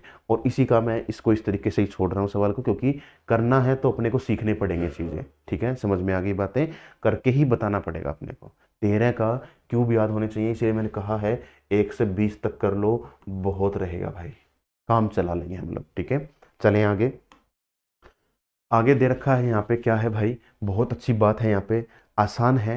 बीस तक के मैंने स्केयर की कहा था कि बीस तक में काम चल जाएगा तो बीस तक की ही बातें हैं यहाँ पर। ठीक है ना? पंद्रह, उसके बाद अगर मैं पंद्रह का स्केयर कर देता हूँ तो आंसर आ जाएगा जी दो सौ पच्चीस। उसमें एक जोड़ दो। आ गया। आगे किसकी बात करते हैं? ये रहा भाई। किस किस स्केयर में एक जोड़ने पर पैंसठ आएगा? किस नंबर के स्केयर में एक जोड़ दू तो पैंसठ आएगा। सीधी सी बात है, आठ आठ का स्केयर चौसठ, एक ऐड किया पैंसठ तो इधर आठ आ जाएगा। हो गया सवाल खत्म। आसान था, कोई दिक्कत वाली बात यहाँ पर नहीं थी। आगे देख लेते हैं। बहुत आसान है, ठीक है, कोई दिक्कत वाली बात ही नहीं है यहाँ पे। क्या? सर जी, गुना ग्यारह कर रखा है। मैंने बताया तो था, मैथमेटिकल ऑपरेशन हो जाएगा। अब भाई 110 क्या? प्राइम नंबर तो है नहीं। 110 किसी का स्केयर नहीं है, किसी का क्यूब नहीं है। तो इस बात का मतलब ये भी हो गया कि वो यहाँ पे क्या है भाई? स्केयर क्यूब वाला लॉजिक भी नहीं है, ठीक है? उसके अलावा फिर क्या बच गया? फिर मैथमेटिकल ऑपरेशन मैंने बताया था। तो भाई 10 से 110 सीधा ही दिख रहा है मेरे को भाई गुना 11 हो रखा है। तो मैं किस नंबर को 11 के साथ गुना करूँ कि मैं 132 बना दूँ? इस नंबर को 11 के साथ गुना करूँ कि मैं 132 बना दूँ? इसके भी दो तरीके हो गए। कैसे? मैं बता देता हूँ तुम लोगों को। मान के चले मेरा कोई नंबर है ए ए को मैं 11 के साथ गुना करूँ और मैं कितना बना दूँ? 132 बना दूँ। पहला तरीका तो मेरा ये हो गया। अब इसी का ही दूसरी बात है। 11 को इधर ले जाके डिवाइड कर दो। तो दूसरा मैं ये भी कह सकता हूँ ए पाने के लिए मैं 132 को 11 से डिवाइड कर दूँ। अभी कहने को तो ये दो अलग अलग लॉजिक हो गए, लेकिन मैथ की भाषा में ये लॉजिक एक ही है। कैसे भी लिख लो, आंसर तुम्हें निकालना है, कर सकते हैं। तो इधर जो अपना भाई राइट आंसर कितना आ जाएगा? बारह आ जाएगा। बारह गुना दस करेंगे तो एक सौ बीस होगा, उसमें बारह और जोड़ देंगे तो एक सौ बत्तीस यहाँ पे अपना राइट आंसर आ जाएगा। चलिए, और आगे भी बात करते हैं। सेम वही बात है भाई ये कि ग्यारह को किसके साथ गुना कर रखा है? इसके अगले नंबर के साथ, बारह के साथ। तो बारह को किसके साथ गुना करूँगा मैं? इसके अगले नंबर तेरह के साथ। तेरह गुना में बारह करता हूँ। तो 130 और 26 मेरे को करना होगा, एक सौ छप्पन बन जाएगा, एक सौ छप्पन यहाँ पे मेरा राइट आंसर आ जाएगा ऑप्शन नंबर बी सीधे कैलकुलेटिव है कैलकुलेटिव भी मतलब कि टेबल के हैं तो टेबल भी भाई बीस तक याद होने चाहिए, वो भी कर लेना। आगे है, आसान सवाल है केक और ओवन अच्छा ये भी भाई शहर वालों के लिए आसान है, गाँव वालों के लिए हो सकता है, ये भी मुश्किल हो। अब केक ओवन ओवन क्या है कि एक ऐसी चीज़ है जिसमें केक बनाया जाता है। जैसे कि भाई सब्ज़ी बनाने के लिए प्रेशर कुकर चाहिए, ऐसे ही केक बनाने के लिए ओवन चाहिए, ठीक है ना? तो केक किसमें बनेगा? ओवन में बनेगा। अब जिसको पता है, उसको पता है, जिसको नहीं पता, उसके लिए नहीं पता। जीके का आधारित सवाल है ये, ठीक है? ऐसे ही आइसक्रीम के लिए क्या चाहिए होगा? फ़िल्टर चाहिए होगा क्या? नहीं। नॉन स्टिक कुकवेयर चाहिए होगा क्या? नहीं। अब नॉन स्टिक क्या होता है? ये भी एक जैसे बर्तन होते हैं, मिट्टी का बर्तन है, स्टील का बर्तन है, ये तो इस तरीके के एल्यूमिनियम का बर्तन है, उसी तरीके से ये भी एक अलग तरीके से किसी मटेरियल का बर्तन होते हैं तो वो देखना भाई इसमें क्या होता है, गूगल कर लेना, पता लग जाएगा। रेफ्रिजरेटर चाहिए क्या बिल्कुल चाहिए, कुकर चाहिए क्या? नहीं चाहिए। चलो, ये तो इतना तो कन्फर्म था। खैर, आसान भी था कि आइसक्रीम बर्फ़ किसमें जमेगी? फ्रीज में ही जमेगी। अब फ्रीज से बच्चा बच्चा वाकिफ़ होगा कि भाई फ्रीज क्या होता है। ठीक है, रेफ्रिजरेटर ही है ये। मेघालय की बात कर लेते हैं भाई। मेघालय, अब ये भी मैंने क्या बताया था? कैपिटल की बात बता देखी भाई। ठीक है, कैपिटल की अगर मैं बात करूँ तो कैपिटल किस किस की याद होनी चाहिए? स्टेट और उसकी तो याद कर सॉरी कंट्री और उसकी कैपिटल तो अपने को याद करनी ही थी। कंट्री और उसकी करेंसी भी अपने को याद करनी थी, लेकिन उसके अलावा अपने को अपने इंडियन स्टेट की भी याद रखनी होंगी, ठीक है? अपने इंडियन स्टेट की भी याद हो, करनी पड़ेंगी और इनकी खास कर याद करना, जो सेवन सिस्टर्स हैं, इसमें अक्सर बच्चों को कन्फ्यूज़न हो जाती है। अक्सर इसमें कन्फ्यूज़न मिलेगी ही मिलेगी। तो इसको ध्यान रखना, मेघालय की कैपिटल क्या है? शिलोंग है। नागालैंड की कैपिटल क्या होगी? कोहिमा होगी भाई। इसको बड़े ध्यान से करना। क्लियर है? इसमें कन्फ्यूज़न होती है बहुत बार। उसको ज़रूर सॉल्व करना। बाकी, जैसे कि इंडिया के मैप की अगर बात करें रफली में अगर मैं इसका मैप बनाऊँ तो कुछ ऐसा बनेगा। तो ये जो पार्ट है, इसकी ही कैपिटल अपने को याद होने में थोड़ी सी दिक्कत हो सकती है। बाकी सभी की हम लोग पता कर लेते हैं, याद रख सकते हैं। नहीं भी याद होगी तो भी एक अंदाज़ा हो जाता है ऑप्शन से कि भाई वो हो गया या ये होगा, लेकिन इसमें हम लोग फंस जाते हैं। इस चीज़ से थोड़ा सा बचना होगा अपने को। चलिए, ये फिर से कैसा ही सवाल आ गया जो मैं पहले करवा चुका हूँ, वो मैंने स्कोर वाला जो सवाल कराया था, ठीक है ना? तो सो एक वर्ड नंबर लिखा गया है, ये किस तरीके से रिलेट करता है? शताब्दी से। ठीक है? वैसे ही दस किससे करेगा? भाई सीधी सी बात है, जब सो हो जाता है तो या तो वो सेंचुरी बनेगा इंग्लिश में, या फिर भाई हिंदी की बात करें, वो शताब्दी बन रहा होगा, ठीक है ना? तो कैलेंडर टॉपिक जो है, उसमें हम ये बहुत बार करते हैं यूज़ करते हैं इस वर्ड को, ठीक है ना? तो उसकी बात कर लेते हैं। तो दो सालों का समूह क्या है? शताब्दी होता है, ठीक है ना? सौ सालों का समूह शताब्दी। दस सालों का समूह जो है, वो क्या होता है?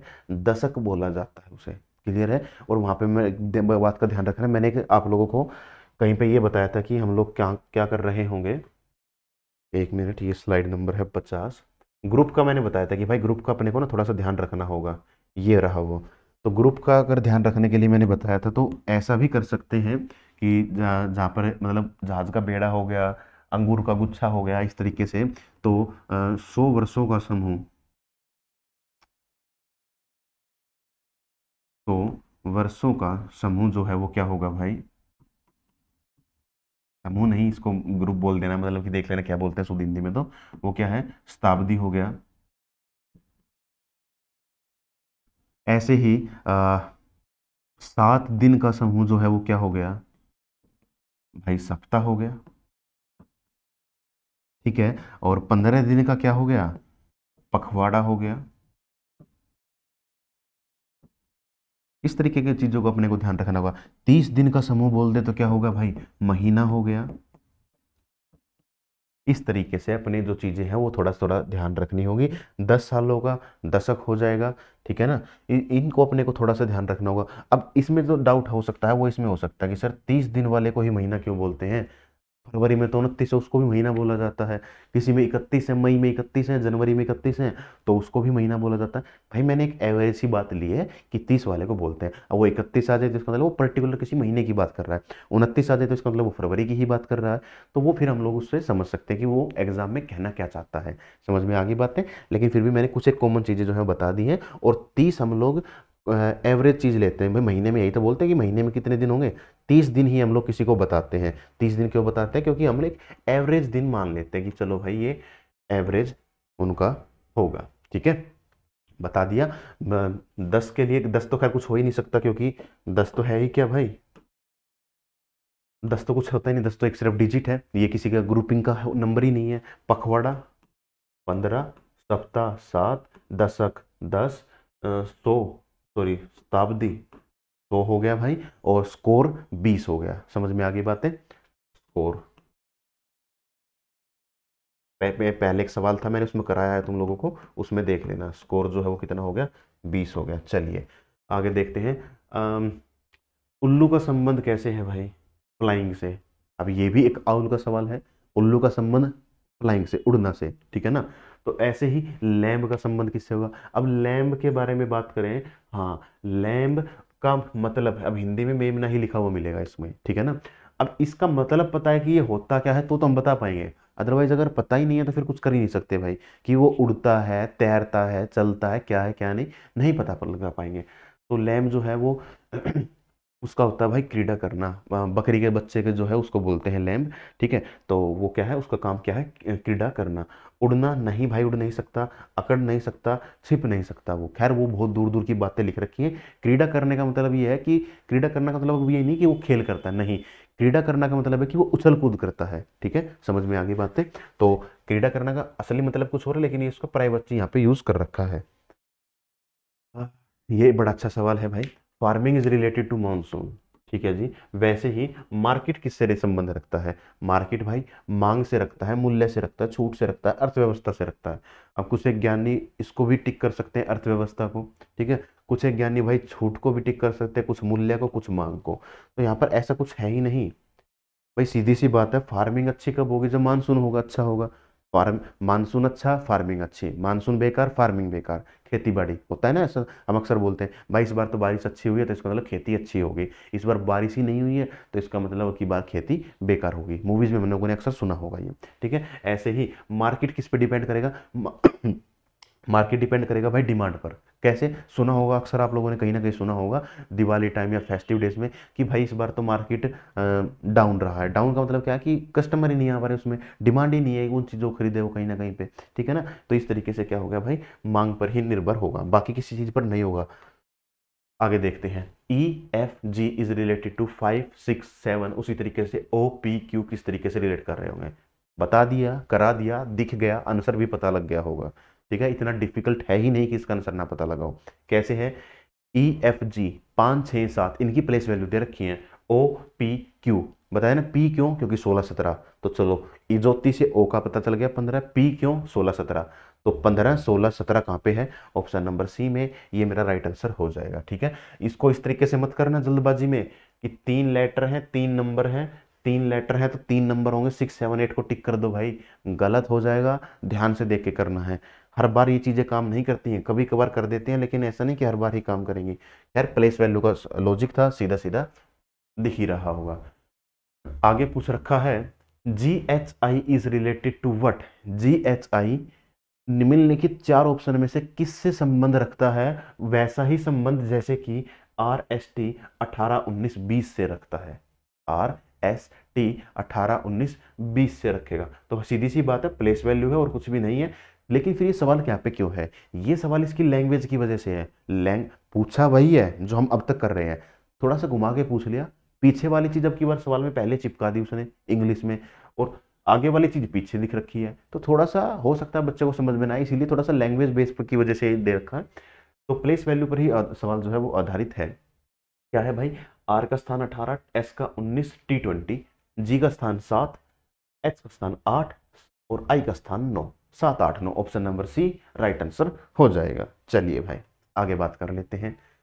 Below which is the most suitable alternative in the place of question mark ठीक है भाई, नीचे क्वेश्चन मार्क के स्थान पर कौन सा सुटेबल ऑप्शन आएगा इधर? वो बता रखा है। ठीक है बी के लिए चार है सी के लिए छः है ई e के लिए दस है। समझ में आ गई बातें? के के लिए क्या होगा? भाई बी का स्थान है दो सी का तीन ई e का पाँच। सभी का दुगुना लिख रखा है। के का स्थान ग्यारह तो बाईस लिखा हुआ मिलेगा। एम का स्थान तेरह तो तेरह गुना दो छब्बीस लिखा हुआ मिलेगा। क्यू का स्थान सत्रह सत्रह गुना दो चौंतीस लिखा हुआ मिलेगा। ऑप्शन नंबर ए में है ये ऑप्शन नंबर ए अपना यहाँ पे राइट आंसर हो जाएगा। इसी के साथ एक कुछ एक बातों का ध्यान और रखेंगे हम लोग और वो क्या है? चलिए मैं बता देता हूँ। एक ओ, एक और चीज़ का ध्यान रखना होगा, यहाँ पर एक सवाल ही दे रहा हूँ, यहाँ पे खैर वो ऐसा नहीं है कि सेम ही सवाल है। कैसे? कई बार ऐसा भी हो सकता था ई एफ़ जी को उसने कैसे लिख रखा हो? उसने लिख रखा हो इसको भाई, इसको तो लिख दिया दस, इसको लिख दिया छः इसको लिख दिया उसने सात। तो अपने को बताना है ओ पी क्यू क्यू दे रखा है ना तो क्यू ही मान लेते हैं हम भी। चलिए, इसको बताना है। क्या होगा? पहले वाले का दुगना है तो ओ का दुगना कितना हो गया भाई? पंद्रह पंद्रह गुना दो, तीस तो तीस लिख सकता है। पी पी का एफ़ का सेम रखा, जी का सेम रखा। तो पी का कितना हो जाएगा? सोलह। क्यू का कितना हो जाएगा भाई? सत्रह हो जाएगा, ये हो गया। ठीक है? समझ में आ गई बातें? इसी तरीके से अगर वो लिख देता, बैक तो क्या होगा? वो हम बता सकते थे। ठीक है? समझ में आ गई बातें? ध्यान देने वाली बात यहाँ पर क्या है?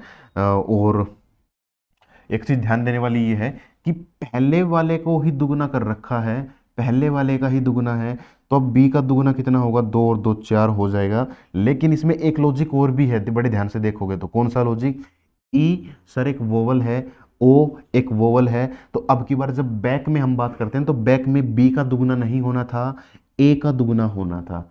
ध्यान से समझना इस चीज़ को, भाई, गलती नहीं करेंगे। पहले का दुगना, दूसरे का दुगना, यहाँ की अगर बात करते हैं तो यहाँ पर क्या होगा? यहाँ पर पहले का दुगना जो बच्चा देख के टिक कर देगा, उसके गलत होने के चांसेस हैं। ऑप्शन पर देखना क्योंकि दो लॉजिक यहाँ पर लग जाएँगे। कौन सा? वोवल कॉन्सोनेंट के लॉजिक लग जाते हैं और यही लॉजिक ऐसे होते हैं जो चीज़ों को मुश्किल बना देते हैं। ठीक है? इस बातों को बड़े अच्छे से ध्यान यहाँ पे रखना होगा। कभी कभार वो इसका अपोजिट की प्लेस वैल्यू भी दे सकता था, जैसे ई जी एफ़ को। वो क्या लिख रखा होता? बाईस लिखता एफ़ को भाई एफ़ का यू इक्कीस लिखता जी का अपोजिट होता है टी तो वो बीस लिखता। तो अपोजिट की भी प्लेस वैल्यू वो दे सकता है। ऐसे सवाल आए हुए हैं प्रीवियस ईयर में। फ़ाइल में होंगे तो ठीक है, नहीं है तो मैंने तुम्हें बता दिया है। वोवल कॉन्सोनेंट को ध्यान रखेंगे। अपोजिट की प्लेस वैल्यू का ध्यान रखेंगे। चले भाई आगे चलते हैं। आ, ये क्या है भाई? आ, ये क्या है? अच्छा ठीक है ठीक है। ये भाई हम लोगों ने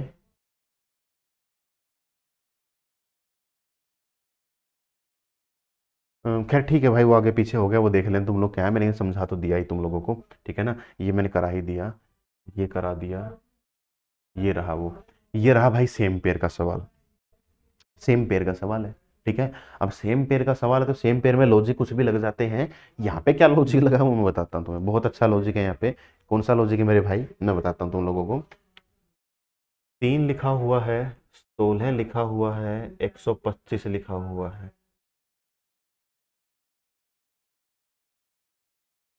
चलिए, अब इसके अलावा यहाँ पे क्या हो सकता है? खैर, इसको यहाँ से देखते हैं। तीन तीन क्या है? ये भाई यहाँ पे जो लॉजिक है ना, मैं वो बता रहा हूँ। अब ऐसा लॉजिक होना तो नहीं चाहिए था, लेकिन ठीक है, अब दे रखा तो दे रखा तो क्या करें? तीन की पावर एक, चार की पावर दो, पाँच की पावर तीन। यानी अंतिम स्थान पर वो आएगा जिसमें क्यूब दे रखा हो। इक्यासी क्यूब होता है भाई, बिल्कुल होता है क्या? सही बताओ, इक्यासी क्यूब होता है क्या? नहीं होता है भाई। तीन की पावर चार होता है वो क्यूब नहीं होता। तीन का क्यूब सत्ताईस होता है भाई, ठीक है?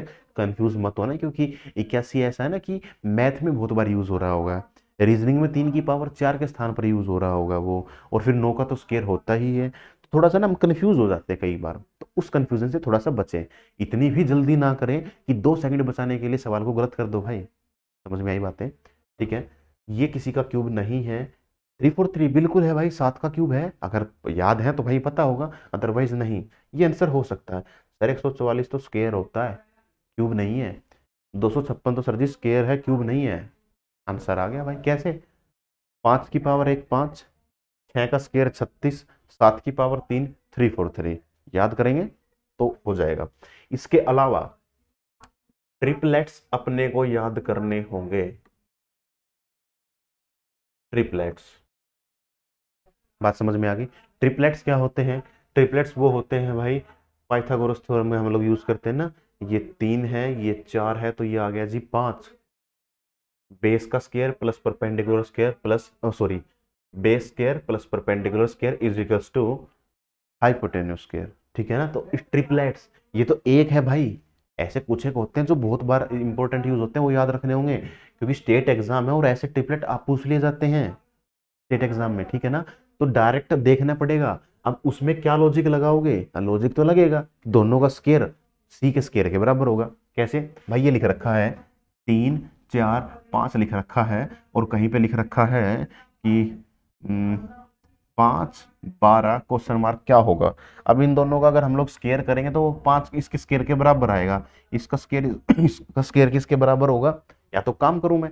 नहीं, अगर मेरे को ट्रिपलेट पता है तो फिर ये सेकंड्स का खेल गेम है मेरे लिए। ठीक है ना? इस तरीके की बातें अपने को थोड़ा सा ध्यान रखनी होगी भाई। चलिए। आगे देखो भाई, यहाँ पे क्या दे रखा है? फिजियोलॉजी मानव शरीर। ठीक है भाई? फिजियोलॉजी इंग्लिश का टर्म है। हिंदी में देख लो कैसे लिखा गया। कभी बोल दो कि हिंदी हिंदी हिंदी। नहीं भाई, लिखा गया। स्टडी पढ़ाई है मैंने। बताया था ना कि जो स्टडी है, किसकी स्टडी क्या बोला जाता है? वो पढ़ना पड़ेगा।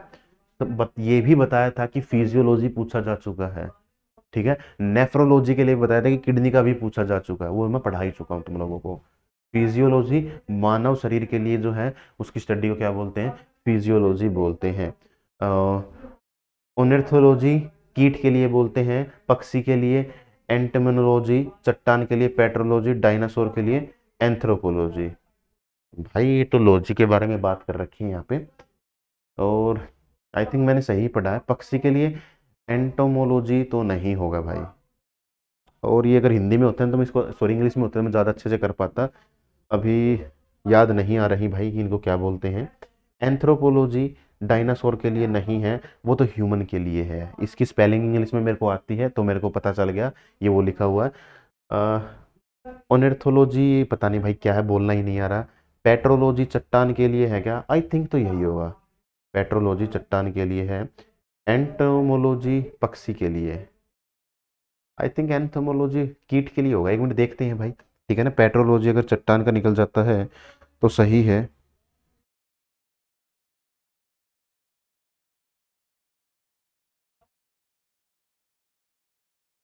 हाँ यही है भाई, पेट्रोलॉजी ही चट्टान का। मैं बता तो रहा ही था, ठीक है ना? बाकी कंफर्म भी मैंने कर लिया है। और ऑन्थ्रोलॉजी देखना पड़ेगा यार किसका अभी ना भूल गए, कुछ एक बातें क्योंकि ये हिंदी में लिखा हुआ है। मेरा जो मीडियम है वो इंग्लिश है और थोड़ी बहुत तो प्रॉब्लम हो जाती है, उसके लिए भाई माफ़ करें, ठीक है ना? बाकी देखते हैं आगे क्या है।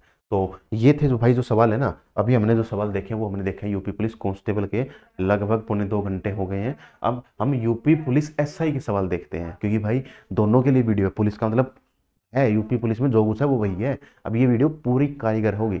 देखते हैं क्या है। मिल्क के लिए क्या लिख रखा है? एम आई एल के उसी के लिए डोम के लिए कैसे क्या होगा, वो देख लेते हैं। मिल्क एल जी आई जी तेरह से बारह, माइनस एक, नौ से सात, माइनस दो, बारह से नौ, माइनस तीन। अच्छा मैं कैसे बता रहा हूँ? मेरे को भाई याद है तो मैं इतनी जल्दी बता पा रहा हूँ, ठीक है ना? तुमको याद होंगी प्लेस वैल्यू तो ज़रूर बता पाओगे भाई। अदरवाइज़ तुम्हें भी टाइम लगेगा, लिखना पड़ेगा, वो चार्ट वार्ट बनाते रह जाओगे। और इस जैसे एग्ज़ाम में चार्ट बनाने का वो तुक नहीं है। एस आई टू स्टार के लिए हम लोग तैयारी कर रहे हैं, ठीक है ना? वहाँ पर ऐसी बेवकूफ़ जैसी चीज़ें मत कर देना। ग्यारह माइनस चार, सात आ गया। चलो माइनस चार, पाँच माइनस चार, एक। एक पर होगा ए एक इस ऑप्शन में है? चलो जी लास्ट सेकंड पे होगा माइनस तीन। तेरह माइनस तीन, दस। दस पर होगा जे हो गया भाई सवाल। ठीक है जी? चलें आगे। इस तरीके से अपने को काम करना है। आगे। रिस्क, इम्पोर्टेंट सवाल है भाई इंपॉर्टेंट एसएससी का तो ये फेवरेट लॉजिक है। अच्छा यूपी में कब का है? 2021 का। लो। बताया था ना? एसएससी का फेवरेट है। और फेवरेट का मतलब एसएससी ना, हर चीज़ को रिपीट कर रहा है। 2016-17 के बाद से चीज़ें रिपीटेड चल रही हैं। तो फेवरेट है, इसका मतलब क्या है? बताता हूँ कैसे है यहाँ पे। बड़े ध्यान से समझना थोड़ा सा इसको ना एक्सटेंड करना होगा मतलब कि खुला खुला लिखना होगा इसको। चलिए जी, आगे लिख देते हैं टाइम रिस्क के लिए क्या है? इसको बड़े ध्यान से देखोगे तो पता चलेगा Q और S, ये माइनस एक है, ये प्लस एक है। सत्रह, अठारह, उन्नीस, आठ, नौ, दस। माइनस एक, प्लस एक, यानी कि हर लेटर का एक पहले वाला, एक उसके बाद वाला लिखा हुआ है, ठीक है? वो लेटर खुद नहीं लिख रखा। लेटर से पहला लेटर के बाद वाला दोनों साथ लिख रखे हैं। फिर अगला लेटर लेटर के पहले वाला, लेटर के बाद वाला दोनों साथ करके लिख रखे हैं। कैसे? सेम वहीं पे होगा।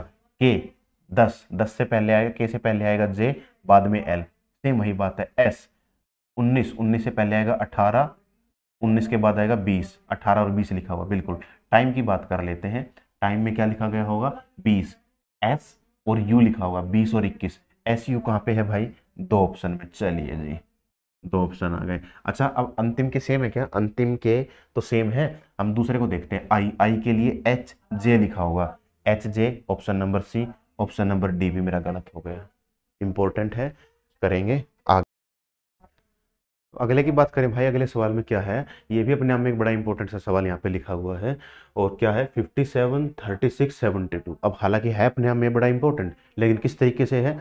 मेरे भाई, वही बात है इलॉजिकल से सॉल्व हो रहा है। इससे सॉल्व हो रहा है? इलॉजिकल से। ठीक है? कैसे? मैं बताता हूँ। तुम्हारा पूरा माइंड हिल जाएगा इस सवाल को सोल्व करते करते जब इसको पूरा पूरा देखोगे ना, सत्तावन, छत्तीस, बहत्तर, लग ही नहीं रहा होगा भाई किसी भी तरीके से।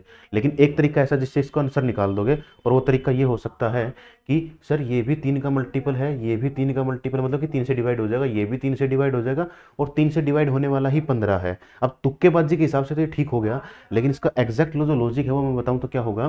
भाई, सत्तावन लिखा हुआ है, आगे छत्तीस लिखा हुआ है, आगे भाई बहत्तर लिखा हुआ है और आगे भाई क्वेश्चन मार्क है यहाँ पे। देखो मैं बताता हूँ क्या है। सात गुना पाँच कितना होगा भाई? गुना कर देंगे। सात गुना पाँच, पैंतीस। पैंतीस जमा एक रखा है भाई। छत्तीस हो गया। सात गुना दो चौदह और चौदह में जमा एक करेंगे तो कितना हो जाएगा मेरे भाई? पंद्रह हो जाएगा। तो उस हिसाब से तो ये आंसर तो अपना आ गया। लेकिन इसका जो मतलब था, सवाल को सोल्व करने का तरीका था, वो बड़ा एक यूनिक था। ठीक है ना? एक जो सवाल का तरीका से सोल्व करने का वो क्या है? वो बड़ा यूनिक है इसको। हमें इसको इस तरीके से करना होगा। ठीक है? समझ में आ गई बातें?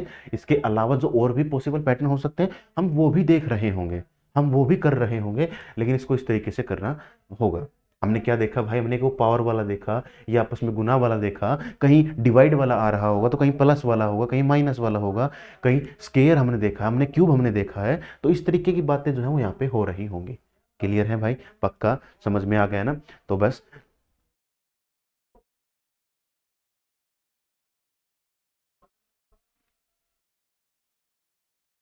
आगे देख लेते हैं। ये देखते हैं, बात करते क्या है।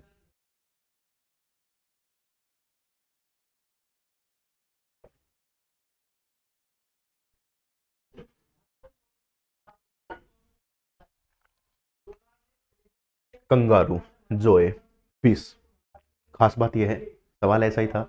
अब इसकी हिंदी करोगे तो हिंदी में कंगारू ही था। जोए को जोई लिखा गया था फ़िश को ही लिखा गया था आगे क्वेश्चन मार्क था। इसकी भी हिंदी ऐसी थी, ठीक है ना? अब इसकी बात करते हैं, इसका राइट आंसर जो है वो क्या होगा? फ्राई होगा। फ्राई अब यहाँ पे क्या है? Kangaroo joey. अब फ़िश तो फ़िश फ्राई तो सुना है हम लोगों ने कॉमन है फ़िश फ्राई ठीक है, खाने की चीज़ है शायद मांसाहारी लोग जो है वो तो खाते हैं, लेकिन शाकाहारी जो लोग हैं, वो शायद ना भी खाते हो इस चीज़ को, ठीक है? मतलब नहीं खाते होंगे वो तो यार, और सुना भी नहीं होगा, शायद उन्होंने, हो सकता है ऐसा। तो वो, हो सकता है वो उसकी वजह से फ़िश फ्राई थोड़ा सा लग रहा हो, लेकिन फिर कंगारू को क्या होता है? कंगारू का मांस तो सुना ही नहीं है किसी ने भी।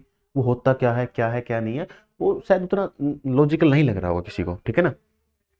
कंगारू की बात करते हैं। कंगारू के लिए क्या लिखा गया है भाई?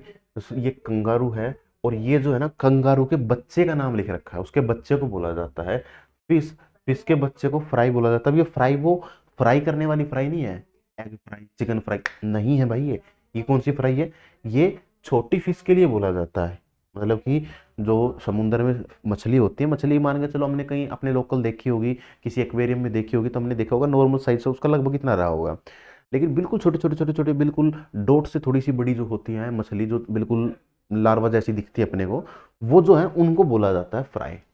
समझ में आ गई बातें? जो है वो बता दिया। बाकी किसका क्या है वो अपने को देख लेंगे हम लोग, ठीक है? चलो जी, ये रहा एस आर डी ए भाई, बच्चे बच्चे को पता है ए के बाद बी एक्स के बाद वाई एक भी ऑप्शन एलिमिनेट नहीं हुआ। डी के बाद चार, पाँच तो यहाँ पे आ गया एक और। ओ के बाद ओ ओ ओ पी आएगा। पी वाई आएगा भाई पी वाई उल्टा लिख दिया मैंने। यहाँ पे तो वाई आएगा, यहाँ पे आएगा पी आर से टी प्लस दो यू प्लस दो, इक्कीस, दो तेईस। तेईस पे क्या होगा? डब्लू होगा। पी एस से यू प्लस दो, उन्नीस और दो, इक्कीस, सोलह, दो अट्ठारह ये बनेगा भाई। R W P Y option number C यहाँ पे मेरा राइट आंसर हो जाएगा। ठीक है? आर्किटेक्ट क्या बनाता है भाई बिल्डिंग? अब ये पता है कि प्रोफेशन होता है तो कर पाएँगे, नहीं तो नहीं। ऑथर क्या करेगा? ऑथर बुक लिखता है भाई। बुक लिखता है, बहुत कॉमन है। रीजनिंग की किताब ली है अभी एग्ज़ाम की तैयारी करते वक्त। तो कोई ऑथर का नाम लिख रखा होगा। भाई फलाने सर की किताब है ये। फलाने सर की ये लिखी हुई किताब है। समझ में आ गई बातें? ठीक है ना? तो इस तरीके के हम लोग उसको क्या बोला जाता सॉरी जो किताब लिखता है उसको क्या बोला जाता है? ऑथर बोला जाता है। तो इस तरीके से हम इसको कर सकते थे। थोड़ा सा कॉमन सेंस लगाते तो हो जाता।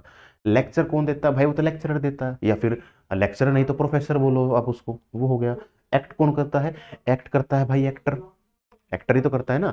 जो एक्ट आपने सुना होगा नॉर्मली कि भाई आज फलाने का एक्ट है, आज मेरा एक्ट है। जैसे कि मैं क्या बताऊँ?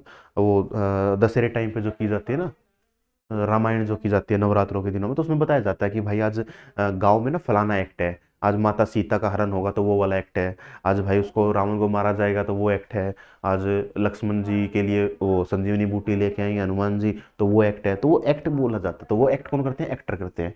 खैर, सुना होता तो कर सकते थे, नहीं तो थोड़ा सा कॉमन सेंस लगाते तो कर लेते इसको। रिपोर्ट अब ये तो पता ही है भाई। रिपोर्टर का काम है रिपोर्टिंग करना। ठीक है? न्यूज़ रिपोर्टर जो सुना है। और इसके दो आंसर नहीं भाई आंसर एक ही होगा, वो तो समझाने के लिए मैंने लिखा था। चलिए।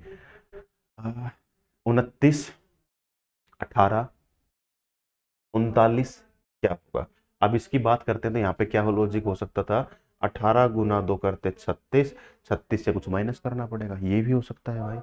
तो फलाने से क्या गुना करूँ? और कितना माइनस करूँ कि वो उनतीस बना दे सॉरी उनतालीस बना दे? तो हो सकता था, ये भी हो सकता है, लेकिन यहाँ पे इसका एक और आंसर भी हो सकता है। इन दोनों का डिफरेंस कितने का है? जी ग्यारह का। इन दोनों का डिफरेंस कितने का होगा? जी ग्यारह का डिफरेंस आना चाहिए। उनतीस माइनस ग्यारह अट्ठारह।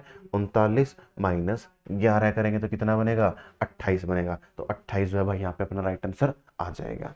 ठीक है? डिफरेंस के भी आंसर आ जाते हैं। गायकोनोलॉजी वुमेन ठीक है ना? और हिमेटोलॉजी ब्लड की है। अब भाई स्टडी पढ़ रखी है तो होगा ही। मैंने कहा ही था कि भाई अगर इंग्लिश के होंगे तो मैं ज़रूर बता दूँगा, ठीक है ना? तो वो बता दिया है। अच्छा चाइल्ड के लिए बच्चे वालों के भी, बच्चे के जो स्पेशलिस्ट होते हैं, उनकी भी हम लोग पढ़ सकते हैं। उसमें में लिखा होगा हब्स की हम पढ़ सकते हैं वोम्स की हम लोग पढ़ सकते हैं। ये वोम्स की पढ़ लेना वोम्स की ना थोड़ा सा इंपॉर्टेंट हो जाती है। ये बच्चे और हब्स वाली तो खैर छोड़ देना, कोई फ़र्क नहीं पड़ेगा। वोम वाली पढ़ लेना भाई, ठीक है ना? और ये क्या है? फंबल को लिखा गया है F U M B L E fumble है, उल्टा लिख रखा है। हालाँकि मैं इसको जो कोडिंग डिकोडिंग पढ़ाऊँगा, तब ये टाइप भी पढ़ा दूँगा। फंबल को उल्टा लिख दिया। ऑरेंज को ओ आर ए एन जी ई अब इसको रफ कॉपी में नहीं लिखना था अपने को। पढ़ लेते। ओ आर ए नहीं आया। O R A N G E option number D बाकी किसी में स्पेलिंग सेम है ही नहीं। चले आगे। बहुत अच्छा सवाल, बहुत इंपॉर्टेंट सवाल। कैसे है? ऐसे सवाल के लिए ही यूपी के एग्ज़ाम देने का मन करता है भाई। मैं एज ए टीचर अगर मैं बताऊँ तो क्योंकि बहुत अच्छे सवाल पूछ लेता है वो, और मज़ा भी आता है ऐसे सवालों को करने के लिए कुछ नया सीख पा रहे हैं हम लोग, ठीक है? बताता हूँ कैसे होगा यहाँ पे। जे ई दो लिख रखा है। एक्स डी दो आता। कैसे दो आता? नंबर ऑफ़ लेटर कितने हैं? दो। एक्स डी में भी दो हैं, लेकिन दो तो ऑप्शन ही नहीं है भाई। तो क्या है? कुछ और लगा रखा है। क्या लगा रखा है मैं बताता हूँ। जे ई दो जे का स्थान दस ई का स्थान पाँच। दस डिवाइड बाय पाँच आंसर आ गया दो। एक्स डी क्या आएगा नहीं पता। एक्स का स्थान चौबीस डी का स्थान चार डिवाइड कर दूँगा चौबीस डिवाइड बाय चार। आंसर आ गया जी छः तो इधर आ जाएगा छः। ऑप्शन नंबर ए जो है मेरा यहाँ पे राइट आंसर हो जाएगा। बहुत प्यारा बहुत इम्पोर्टेंट सवाल है। पूछा गया है देख सकते हो मेरे भाई। ऐसा नहीं कि मैं बेतुका कुछ भी करा दूँगा। नहीं भाई काम की चीज़ करा रहा हूँ काम की ही है। ठीक है समझ में आ गई बातें? आगे चलते हैं। पैंतीस चार छियालीस लिखा गया है। और इसकी अगर हम लोग बात करें तो कैसे करेंगे हम लोग? हम्म, पैंतीस चार। आठ हाँ ऐसे करेंगे ना भाई बिल्कुल पक्का ना? पाँच और तीन आठ आठ का आधा किया चार छः चार दस दस का आधा किया पाँच। लो भाई ये हो गया। अब मैं बात करता हूँ कि मैंने यहाँ पे ऐसा क्यों किया? भाई इसकी मैं बात करूँ यहाँ पे ना लॉजिक बहुत सारे लग जाएँगे लेकिन यहाँ पर जो तुम लोग लॉजिक सोच रहे होगे ना वो लॉजिक यहाँ पे कारीगर नहीं होंगे। ठीक है मैं बताता हूँ कैसे। आ, क्योंकि मैं यहाँ पे तुम लोग लॉजिक सोच रहे होगे ये वाले। पैंतीस और चार जो है ना, वो ये सोच रहे होगे कि सर जी गुना आठ कर दो, आठ चौक बत्तीस जमा कर दो तीन। ठीक है जी, ये रहा। अब मैं बात बताऊँ कि इसके लिए भी हमें लॉजिक फाइंड करना है। तो यही तो करेंगे। छियालीस क्वेश्चन मार्क यहाँ पे जो भी करेंगे, वो ये करेंगे। फलाने को गुना कर दो आठ के साथ, जमा कर दो तीन, बना दो छियालीस। सर जी, ए को गुना कर दो आठ के साथ, जमा कर दो तीन, बना दो छियालीस। तीन इधर आके माइनस का हो जाएगा। सर जी ए को गुना कर दो आठ के साथ, छियालीस, ये प्लस का तीन इधर आके माइनस का हो जाएगा, बन गया जी तिरतालीस। सर जी ए ये रहा, तिरतालीस को आठ से डिवाइड कर दो, बना दो जी कुछ। क्या बनेगा? डिवाइड ही नहीं होगा भाई वो। यहाँ कुछ पॉइंट के आंसर दे नहीं रखे तो इसका मतलब ये वाली बात यहाँ पे नहीं होगी। अच्छा तुम्हें लगे कि सर गुना नौ वाली बात कर दो तो बिल्कुल कर लो भाई। नौ सॉरी चार गुना नौ, छत्तीस माइनस एक। गुना नौ माइनस एक। इसकी बात करते। भाई किसी को भी गुना नौ और माइनस एक करोगे ना तो छियालीस नहीं आ सकता। क्यों? क्योंकि ये आ गया जी सैंतालीस और किसी भी नंबर को नौ के साथ गुना करने पर सैंतालीस नहीं बनेगा। हाँ सिक्स पॉइंट फाइव को करके देखो, थ्री पॉइंट फाइव को करके देखो, किसी पॉइंट वाले को करके देखोगे तो कुछ बना लोगे, लेकिन पॉइंट वाला ऑप्शन भी तो नहीं है ना यहाँ पे। तो ये जब दो काम कर लोगे ना, उसके बाद कुछ नहीं बनेगा तो वो तरीके पर आओगे। मैंने मिटा दिया क्या? अच्छा ये तो लिखा नहीं होगा, या मिटा दिया भाई मैंने। ठीक है, कुछ ऐसा ही हुआ होगा। तो यहाँ पे क्या करेंगे हम लोग? तीन प्लस पाँच। कितना हो गया जी आठ? आठ का आधा हो गया जी चार। ठीक है? चार जमा छ, दस। दस का आधा कर दिया जी पाँच। पाँच मेरा यहाँ पे राइट आंसर आ जाएगा। ठीक है भाई? इंपॉर्टेंट है। इंपॉर्टेंट मेरे बच्चे है ये। डिवाइड वाले। हमने ऐसे सवाल देखे हैं। चलिए, आगे देखते हैं। हॉर्स कोल्ट और भाई बटरफ्लाई हॉर्स के बच्चे को बच्चे को बोल दो या फिर ये बोल दो कि और जब छोटा होता है तो उसको ये बोला जाता है, ठीक है ना? जैसे गाय का छोटा बच्चा क्या है, बछड़ा हो गया, ठीक है भाई? और ऐसे ही होर्स का जो छोटा बच्चा उसको ये बोला जाता है। बटरफ्लाई के छोटे बच्चे को या फिर बटरफ्लाई जो छोटा होता है तो उसको क्या बोला जाता है? लार्वा बोला जाता है। फ़ोन किसके का बोला जाता है? हिरन का बच्चा जब छोटा होता है, उसको फ़ोन बोला जाता है। बिल्ली का बच्चा जब छोटा होता है तो किटन बोला जाता है। और पप्पी का आप लोगों को पता है कुत्ते का बच्चा छोटा होता है, उसको पप्पी बोला जाता है, ठीक है जी? इस तरीके से कर लेना अपना भाई। चले, आगे बात कर लेते हैं। सी, सत्ताईस लिखा गया है। ई के लिए क्या लिखा गया? बहुत इंपॉर्टेंट है भाई, बहुत इंपॉर्टेंट थ्री स्टार लगा दिए, बोले तो इंस्पेक्टर वाली चीज़ मैंने यहाँ पे लिख दी है भाई। सी के लिए सत्ताईस ई के लिए क्या है? नहीं पता। सी के लिए सत्ताईस लिखने के यहाँ पे दो तीन लॉजिक हो सकते थे। वो क्या मैं एक बार बता देता हूँ तुम्हें, ठीक है ना? कोई सा कहीं लगेगा, कोई कहीं लिखेगा। बेटा उसको लिख लेना प्लीज़ लिख लेना। बहुत मेहनत लगती है चीज़ों को बताने में, करने में, ढूँढने में, काटने, छाटने में तो उसको लिख लेना। भाई सी के लिए सत्ताईस नहीं, उनतीस लिखा जाना सही था। मैं बताता हूँ कैसे। सी की दूसरी वैल्यू सत्ताईस होती है। सॉरी उनतीस होती है। समझाया तो था मैंने। भाई सत्ताईस पे ए अट्ठाईस पे बी उनतीस पे कौन आएगा? सी आएगा तो उनतीस पे सी आएगा। तो इसकी दूसरी वैल्यू तो ई की दूसरी वैल्यू क्या होगी? इकतीस होगी। यही तो होगा। समझ में आ गई बातें? चलो जी, ठीक है, ये हो सकता था। सी के लिए क्या कर दिया मैंने? सी के लिए चौबीस लिखा जाना बिल्कुल वैलिड था। कैसे वैलिड था? सी नहीं सी के अपोजिट की प्लेस वैल्यू लिख दी है तो 24 लिखा जाना बिल्कुल वैलिड था। तो ई के लिए क्या लिखा जाता? ई के लिए 22 लिख दिया जाता, क्योंकि ई का अपोजिट है वी वी की प्लेस वैल्यू 22 तो 22 लिख दिया जाता। लेकिन यहाँ पर वो भी ऑप्शन में नहीं है। फिर इसके अलावा क्या दिया जा सकता है यहाँ पे? कुछ एक बातें और भी हो सकती थी कि भाई उसको ना इसी नंबर के साथ गुना करके प्लस माइनस करके देख लो। या फिर जो चीज़ यहाँ पे लगी हुई है वो क्या है? सी सी की प्लेस वैल्यू क्या है मेरे भाई? तीन। तीन का कर दिया क्यूब वो हो गया जी सत्ताईस। आगे है जी ई ई की प्लेस वैल्यू है जी पाँच पाँच का कर देंगे क्यूब एक सौ पच्चीस। हो गया सवाल खत्म, ठीक है? चलो जी, बहुत आसान है पुलिस के लिए बताना है। अपोजिट है पी का अपोजिट के ओ का अपोजिट एल एल का अपोजिट ओ लव से बताया था। Indian railway cracks evening by F U four Indian railway dew mountain dew evening Narendra Modi Y F I W V M I think दूसरा है ना? Y F I W V M दूसरे वाला। चलो भाई, हो गया सवाल ख़त्म। आगे बढ़ते हैं। हैन सिक काओ भाई बात है, छोटी सी बात है, उसके बच्चे को क्या बोलते हैं? काओ के बच्चे को क्या बोलते हैं? काफ बोलते हैं भाई, बछड़ा जो है, ठीक है ना? वो हो गया। लैम्ब किसके को बोला जाता है? बकरी के को भाई। और किटन बिल्ली के को, पप्पी जो है वो डॉग के को, बच्चे को बोला जाता है। चलो इम्पोर्टेंट इम्पोर्टेंट है मेरे भाई। इलॉजिकल जो मैं बता रहा था तुम लोगों को, ठीक है ना? क्या है? इलॉजिकल है जी। चीज़ें इलॉजिकल दे रखी हैं भाई इसमें। ठीक है? कैसे? इतने बड़े नंबर से ये नहीं बनेगा। अब जिसे बच्चे को क्यूब याद है ना, वो बता देगा कि भाई ये उन्नीस का क्यूब नहीं है ये। ये तो बहुत बड़ा है। ये उन्नीस के क्यूब का दुगुना भी नहीं है। ये उन्नीस के क्यूब का तिगना भी नहीं है। तो ये है ही नहीं। जिसको क्यूब याद नहीं होगा ना, वो यहाँ पे क्यूब ही सोच रहा होगा, इतना बड़ा नंबर क्यूब से बन सकता है। बताओ लॉजिक कितना आसान है इसमें? बहुत आसान। पाँच और पाँच दस, चार और चार आठ, दस और आठ अठारह और एक उन्नीस। पाँच दो सात और एक आठ आठ और चार बारह क्योंकि बारह में ज़ीरो ऐड करेंगे तो बारह ही रहेगा। Option number B right answer मेरा नहीं है भाई। देख लो कब पूछा गया है सवाल। ऐसा नहीं कि मैं खुद ही बना के कुछ भी पढ़ा रहा हूँ तुम्हें। ये रहा वो ग्रुप वाला सवाल। ये रहा मेरे भाई ग्रुप वाला सवाल। प्राइड ऑफ़ लोयन लोयन का जो झुंड सा होता है, जो होते हैं, उसको क्या बोलते हैं? प्राइड बोलते हैं भाई। Pride P R I D E तो लेओपार्ड के वो को क्या बोल देंगे भाई? लीप बोल देंगे भाई। लीप ठीक है? लीप ऑफ़ लेओपार्ड्स जहाज़ के का मैंने बता ही दिया, बेड़ा बोलते हैं, हिंदी में इंग्लिश में देख लेना भाई क्या बोलते हैं उसको। जज वाले के ग्रुप को जूरी बोलते हैं। अंगूर का गुच्छा हो गया भाई बंच हो गया A bunch of grape A bunch of flowers इस तरीके से होगा। वो पढ़ लेना भाई, वो तुम्हें पता लग जाएगा, ठीक है? डी के एल एस एम एफ़ लिखा हुआ है यहाँ पे।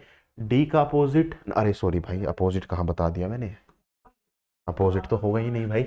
डी का स्थान है मेरे भाई क्या? चार, एल का है जी बारह तो गुना तीन कर दिया मेरे बच्चे क्या? गुना तीन गुना तीन नहीं होगा, क्योंकि फिर ग्यारह गुना तैंतीस करना पड़ेगा।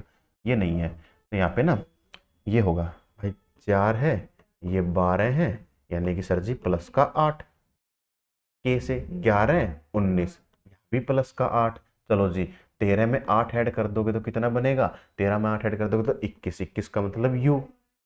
चलो दो ऑप्शन है। भाई ये रहा छः छः में प्लस आठ कर दोगे तो कितना बनेगा? चौदह चौदह का मतलब N U option number C मेरा यहाँ पे राइट आंसर हो जाएगा।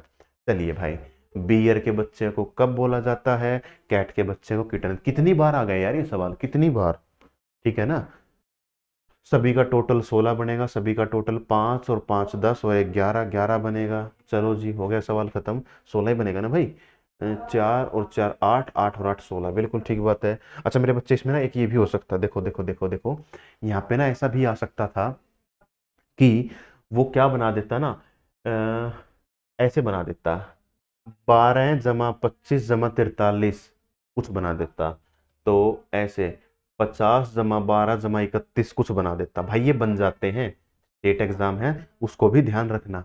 क्लियर है बातें? पक्का समझ में आ गया? शुरू के तीन और आखिरी के तीन को जोड़कर कुछ बना देगा तो वो इधर लिख दिया। शुरू के तीन, आखिरी के तीन को जोड़कर कुछ बना दिया तो इधर लिख देगा। इस तरीके से बातें हो सकती हैं यहाँ। बाकी आपस में मल्टीप्लाई भी हो सकता है। फॉर एग्ज़ाम्पल एक सवाल लिख रखा है। फोर्टी टू के बाद लिख फोर्टी टू के बाद मेरे बच्चे लिख दिया एट ऐसे ही वो यहाँ पे क्या लिख देगा? थर्टी फोर के बाद बता दो जी, क्या आएगा? चार गुना दो आठ, चार दिए बारह। बारह मेरे भाई, यहाँ पे राइट आंसर हो जाएगा, ठीक है? इन बातों का थोड़ा सा ध्यान रखें।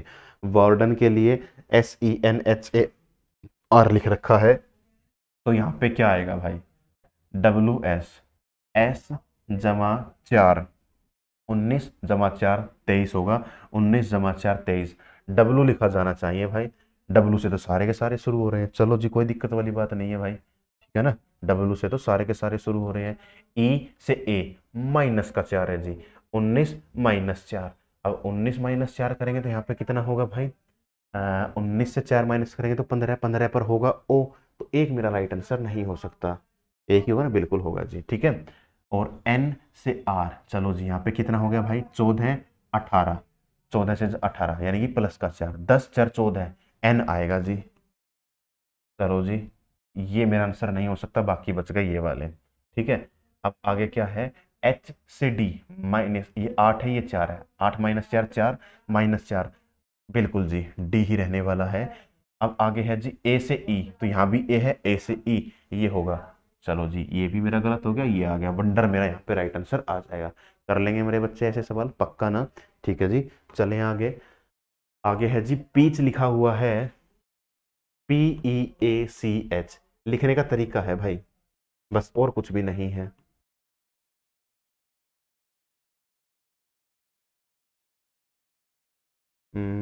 P E A C H coding decoding पढ़ाऊँगा तो बताऊँगा ये क्या है? क्रॉस पैटर्न होता है। Smart